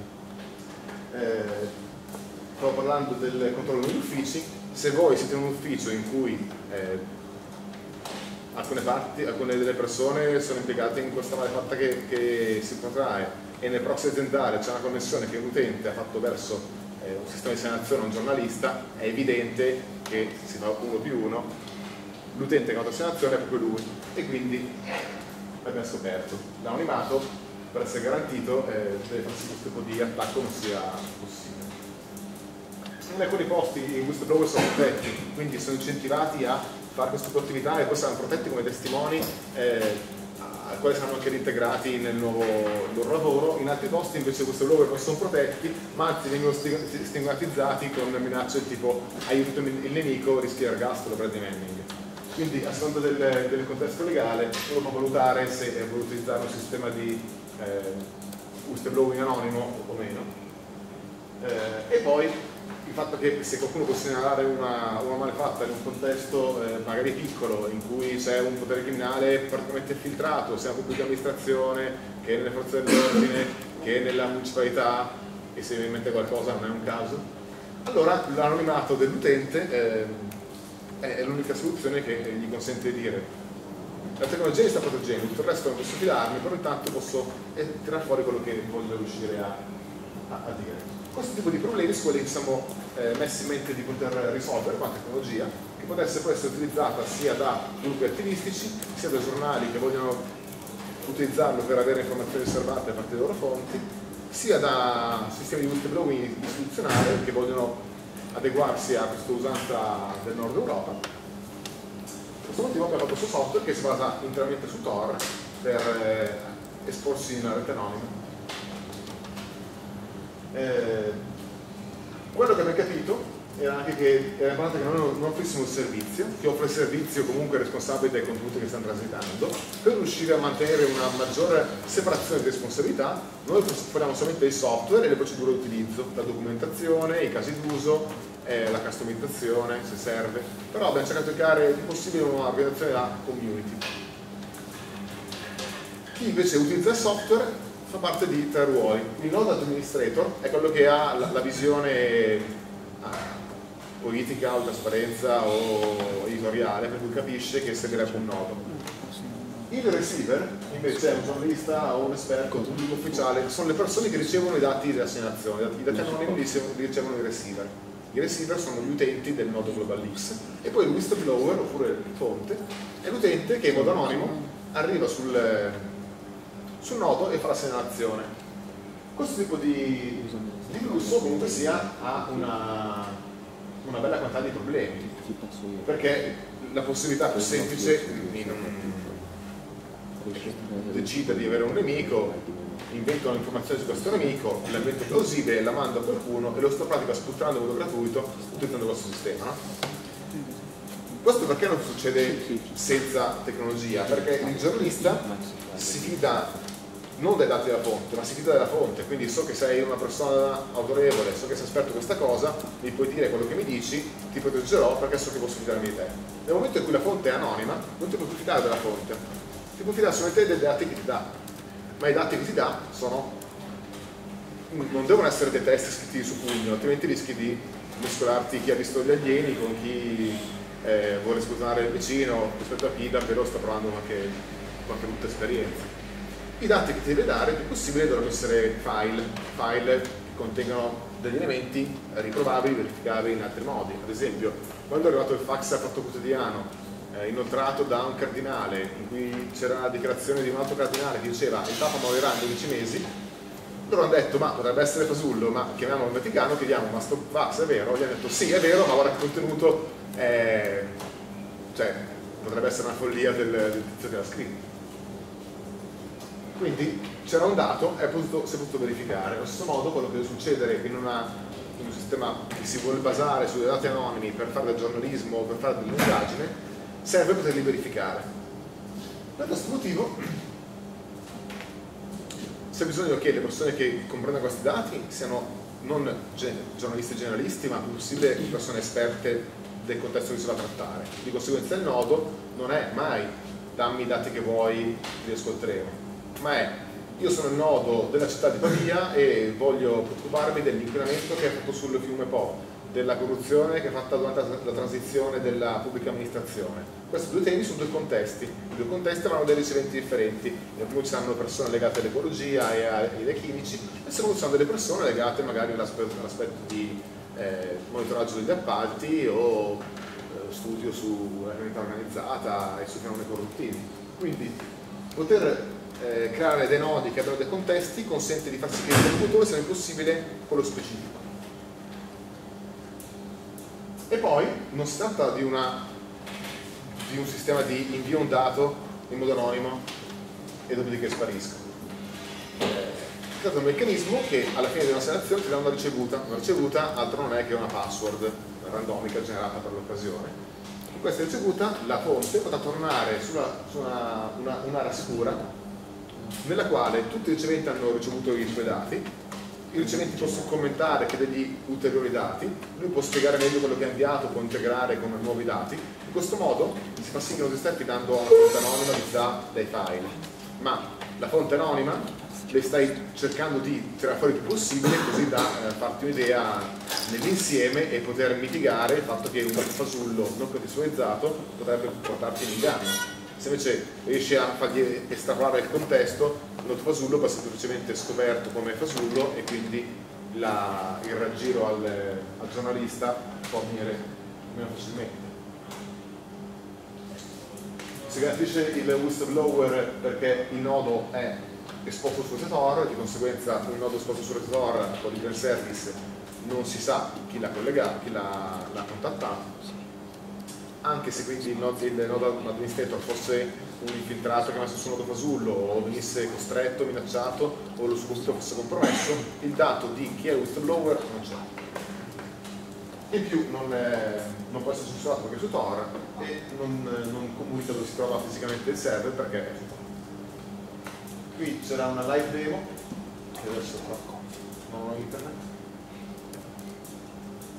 nel nostro modello di utilizzo è che ogni persona che ha una, una visione su un, posto dove possedere un meccanismo di trasparenza può crearsi un modo di global links, può scegliersi i receiver in relazione alle persone giuste per, per comprendere i dati di quel tema, può iniziare a fare pubblicità a chi potenzialmente vuole queste informazioni, quindi se voglio trovare chi eh, paga magari le mazzette per un certo tipo di appalto, cercherò persone in quell'azienda che potrebbero avere interesse a parlarne, a spiegare, a bloccare questo fenomeno, piuttosto che se c'è qualcuno, se c'è un contesto legato a un tema ambientale, posso segnalare a chi lavora in quei settori o, o alle notizie pubbliche.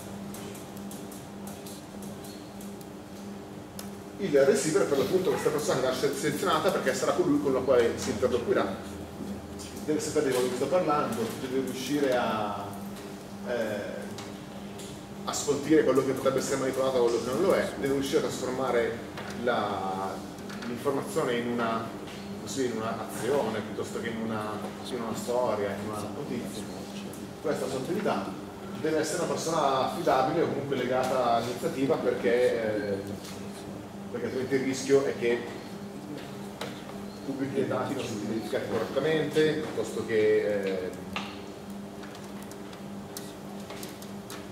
non faccia revisione sì, di pubblico sia il rischio principale, cioè il fatto che un, un dato non ancora verificato inizia a essere pubblicato perché magari si fa guidare da una logica di uh, primo che esce con la notizia è quello che ha vinto, di conseguenza si sottrae da, da fare revisione della, della veridicità pur di avere la notizia sua. A seconda del contesto può pensare che la segnalazione eh, vada a tutti i receiver, quindi tutti i gruppi di persone collegate, così da magari essere più, più garantisti nei confronti della, della, fonte che la sua informazione sarà ricevuta o sarà gestita. Se hai la, hai la, certezza tu da ricevente che anche gli altri tuoi colleghi hanno ricevuto questo dato, sai che c'è un tempo minimo nella quale devi gestirlo, però non puoi metterlo a tacere, non puoi ignorarlo, non puoi lasciarlo andare secondo piano perché altri l'hanno ricevuto. Quindi in alcuni contesti magari obbligare al fatto che l'informazione arriva a tutte le persone destinate è, è una forma di garanzia che sarà seguita. Piuttosto che in alcuni stati come in Iran eh, il fatto di essere una persona che riceve è un rischio perché stai facendo disclosure della tua identità e questo motivo essere passivo di minacce eh, allora puoi anche avere una lista di riceventi anonimi viceversa una pubblica amministrazione italiana in cui con il decreto di corruzione ora anche i sistemi di whistleblowing vengono eh, spinti a essere utilizzati nella pubblica amministrazione, lì i riceventi saranno degli avvocati dedicati che faranno da eh, inter- interlocutori per i dipendenti della PA che vogliono segnare qualcosa. Dipende un po' dal contesto di rischio come si vuole verificare questo tipo di, di, di protezione. Quindi è un software che gira su Linux, eh, vabbè, era nata adesso in beta, è fatto in Python, si basa su eh, framework Twisted. Qualcuno di voi programma in Python? Comunque si basa su framework Twisted, eh, ser- serve in pratica servizi HTTP, nel senso che usa JSON per comunicare, JSON è quel meccanismo di aggregazione dei dati che si fa su pagine HTTP, normalmente le pagine HTTP contengono dati HTML, con JSON invece fa una trasmissione che serve più alle applicazioni che girano sul browser per poter avere i dati che mi servono. Il, l'API è in JavaScript, JavaScript è implementata con AngularJS, una delle librerie di Google per fare applicazioni in JavaScript. Questa applicazione viene data da, come applicazione dal, dal backend, dopodiché il backend comunica con il meccanismo JSON l'applicazione. Ho una domanda che potrebbe sembrare un po' inopportuna. Why you know Django? Guarda, non l'ho scelta io, non so risponderti. Perché non Django? Perché chi ha fatto la messa tecnologica ha detto ma usiamo Cyclone e Storm. E io non avevo questo tipo di esperienza in Python al tempo, quindi non potevo farla. Eh, va detto che vabbè, serviva magari a essere possibili minimali, quando hai problemi di sicurezza, comunque vuoi andare in contesti di molto rischio, l'unica, il modo migliore per avere controllo sul tuo codice è non avere framework molto grossi, ma essere possibile ridotti. Quindi Twisted è un framework molto, molto minimale che fa attività di rete.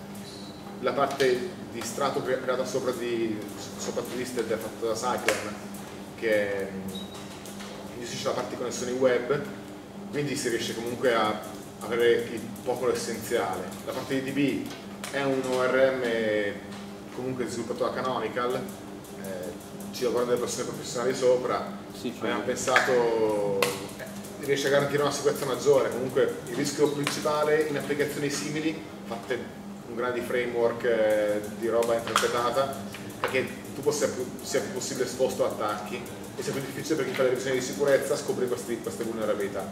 Quindi il motivo per cui Django l'abbiamo escluso era per quello. Poi, poi tutto sommato va bene così. Io ancora adesso non conosco bene la, la grandezza di Django, mi sono fidato di tutta l'analisi tecnologica, va bene così. Certo abbiamo sofferto molto all'inizio perché c'è da fare librerie di supporto più alto, sì. Vabbè. Eh, a- anche il client di Android è in fase di, di la- elaborazione, comunque sia quando hai una, una, un'API REST, le API REST sono il, modo con la quale un'applicazione JavaScript comunica con un backend scambiando semplicemente dei messaggi. Eh, questi messaggi sono documentati in questo tipo di specifico che si chiama la API REST. Eh, e lo, il client Android è sotto, forma di, è sotto fase di sviluppo così che ci possa essere anche l'applicazione mobile poi siccome c'è questo rischio a lungo termine che si nascano dei nodi fasulli eh, abbiamo vogliamo lavorare su questo servizio qua che si chiama Leak Directory, per il momento è un wiki, un wiki che ne traccia in tutti i sistemi di whistleblowing che esistono al mondo e da lì degli articoli che rimandano a eh, come funziona loro, eh, quali sono le garanzie che espongono, quali tipi di notizie andranno fuori nel passato. In questo modo ci sia un po' tenuta traccia la storia dei singoli nodi. No? Dovete pensare che deve, deve dare lo stesso tipo di effetto che c'è con il feedback di Amazon. Cioè, sì, dei venditore Amazon o dei venditori eBay. Ehm, il fatto che se un nodo non gestisce le segnalazioni possa avere una sorta di rating negativo da parte dell'utente così che si sappia se è un nodo affidabile o meno. Per questo serve avere un sistema un po' centrale che tenga traccia di questa reputazione che sui directory potrebbe essere. Ci lavoreremo sopra dal prossimo giro di progetto. Attualmente prende vari work in progress, ovvero sia Contact Trust International Italia che vuole portare all'interno dei comuni pubbliche amministrazioni il sistema di whistleblowing, perché già adesso c'è la legge anticorruzione che lo, lo, lo incentiva. Ci sono alcuni, alcune società che offrono servizi a pagamento, siccome per un'altra normativa se la pubblica amministrazione scegliere tra software libero e software commerciale a parità di, eh, di funzionalità deve scegliere il software libero perché è gratuito, allora è un incentivo in più per diffondere il, il nostro.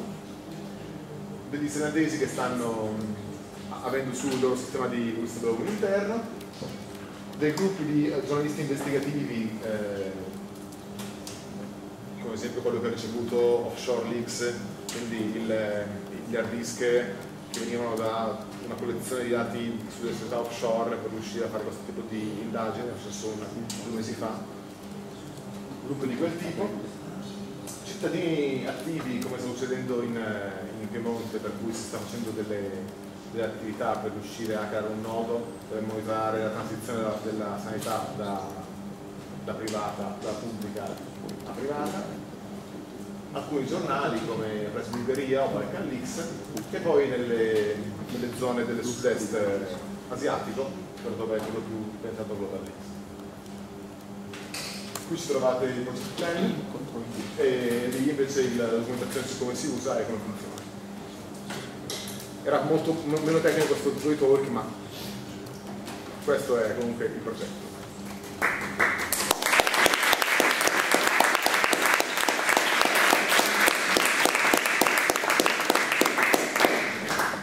vuole in Global Leaks con noi? Eh, magari avessi tempo. Comunque Python sul web, ottima scelta. Sì. Eh Sì, sì. sì. Adesso siamo in una fase di revisione di sicurezza da parte di un, dei revisori. Hanno trovato una cosa critica, effettivamente. Vorrei farvelo vedere perché c'era un bug di logica, però non avendo internet. Se vuoi posso farti lo spot se ti Sì, quale spot? faccio lo spot con lo tablet perché hai il wifi. Ah, sì, fammelo, fammelo. È, un iPad quindi non potrei neanche giocarci tanto perché posso intercettare Se vuoi ti faccio uscire tramite Tor dal, dal mio client Android, eh, non c'è problema. Vabbè, il fatto è che la cosa bella è che c'era una nella funzione, questa può essere anche programma, la funzione in cui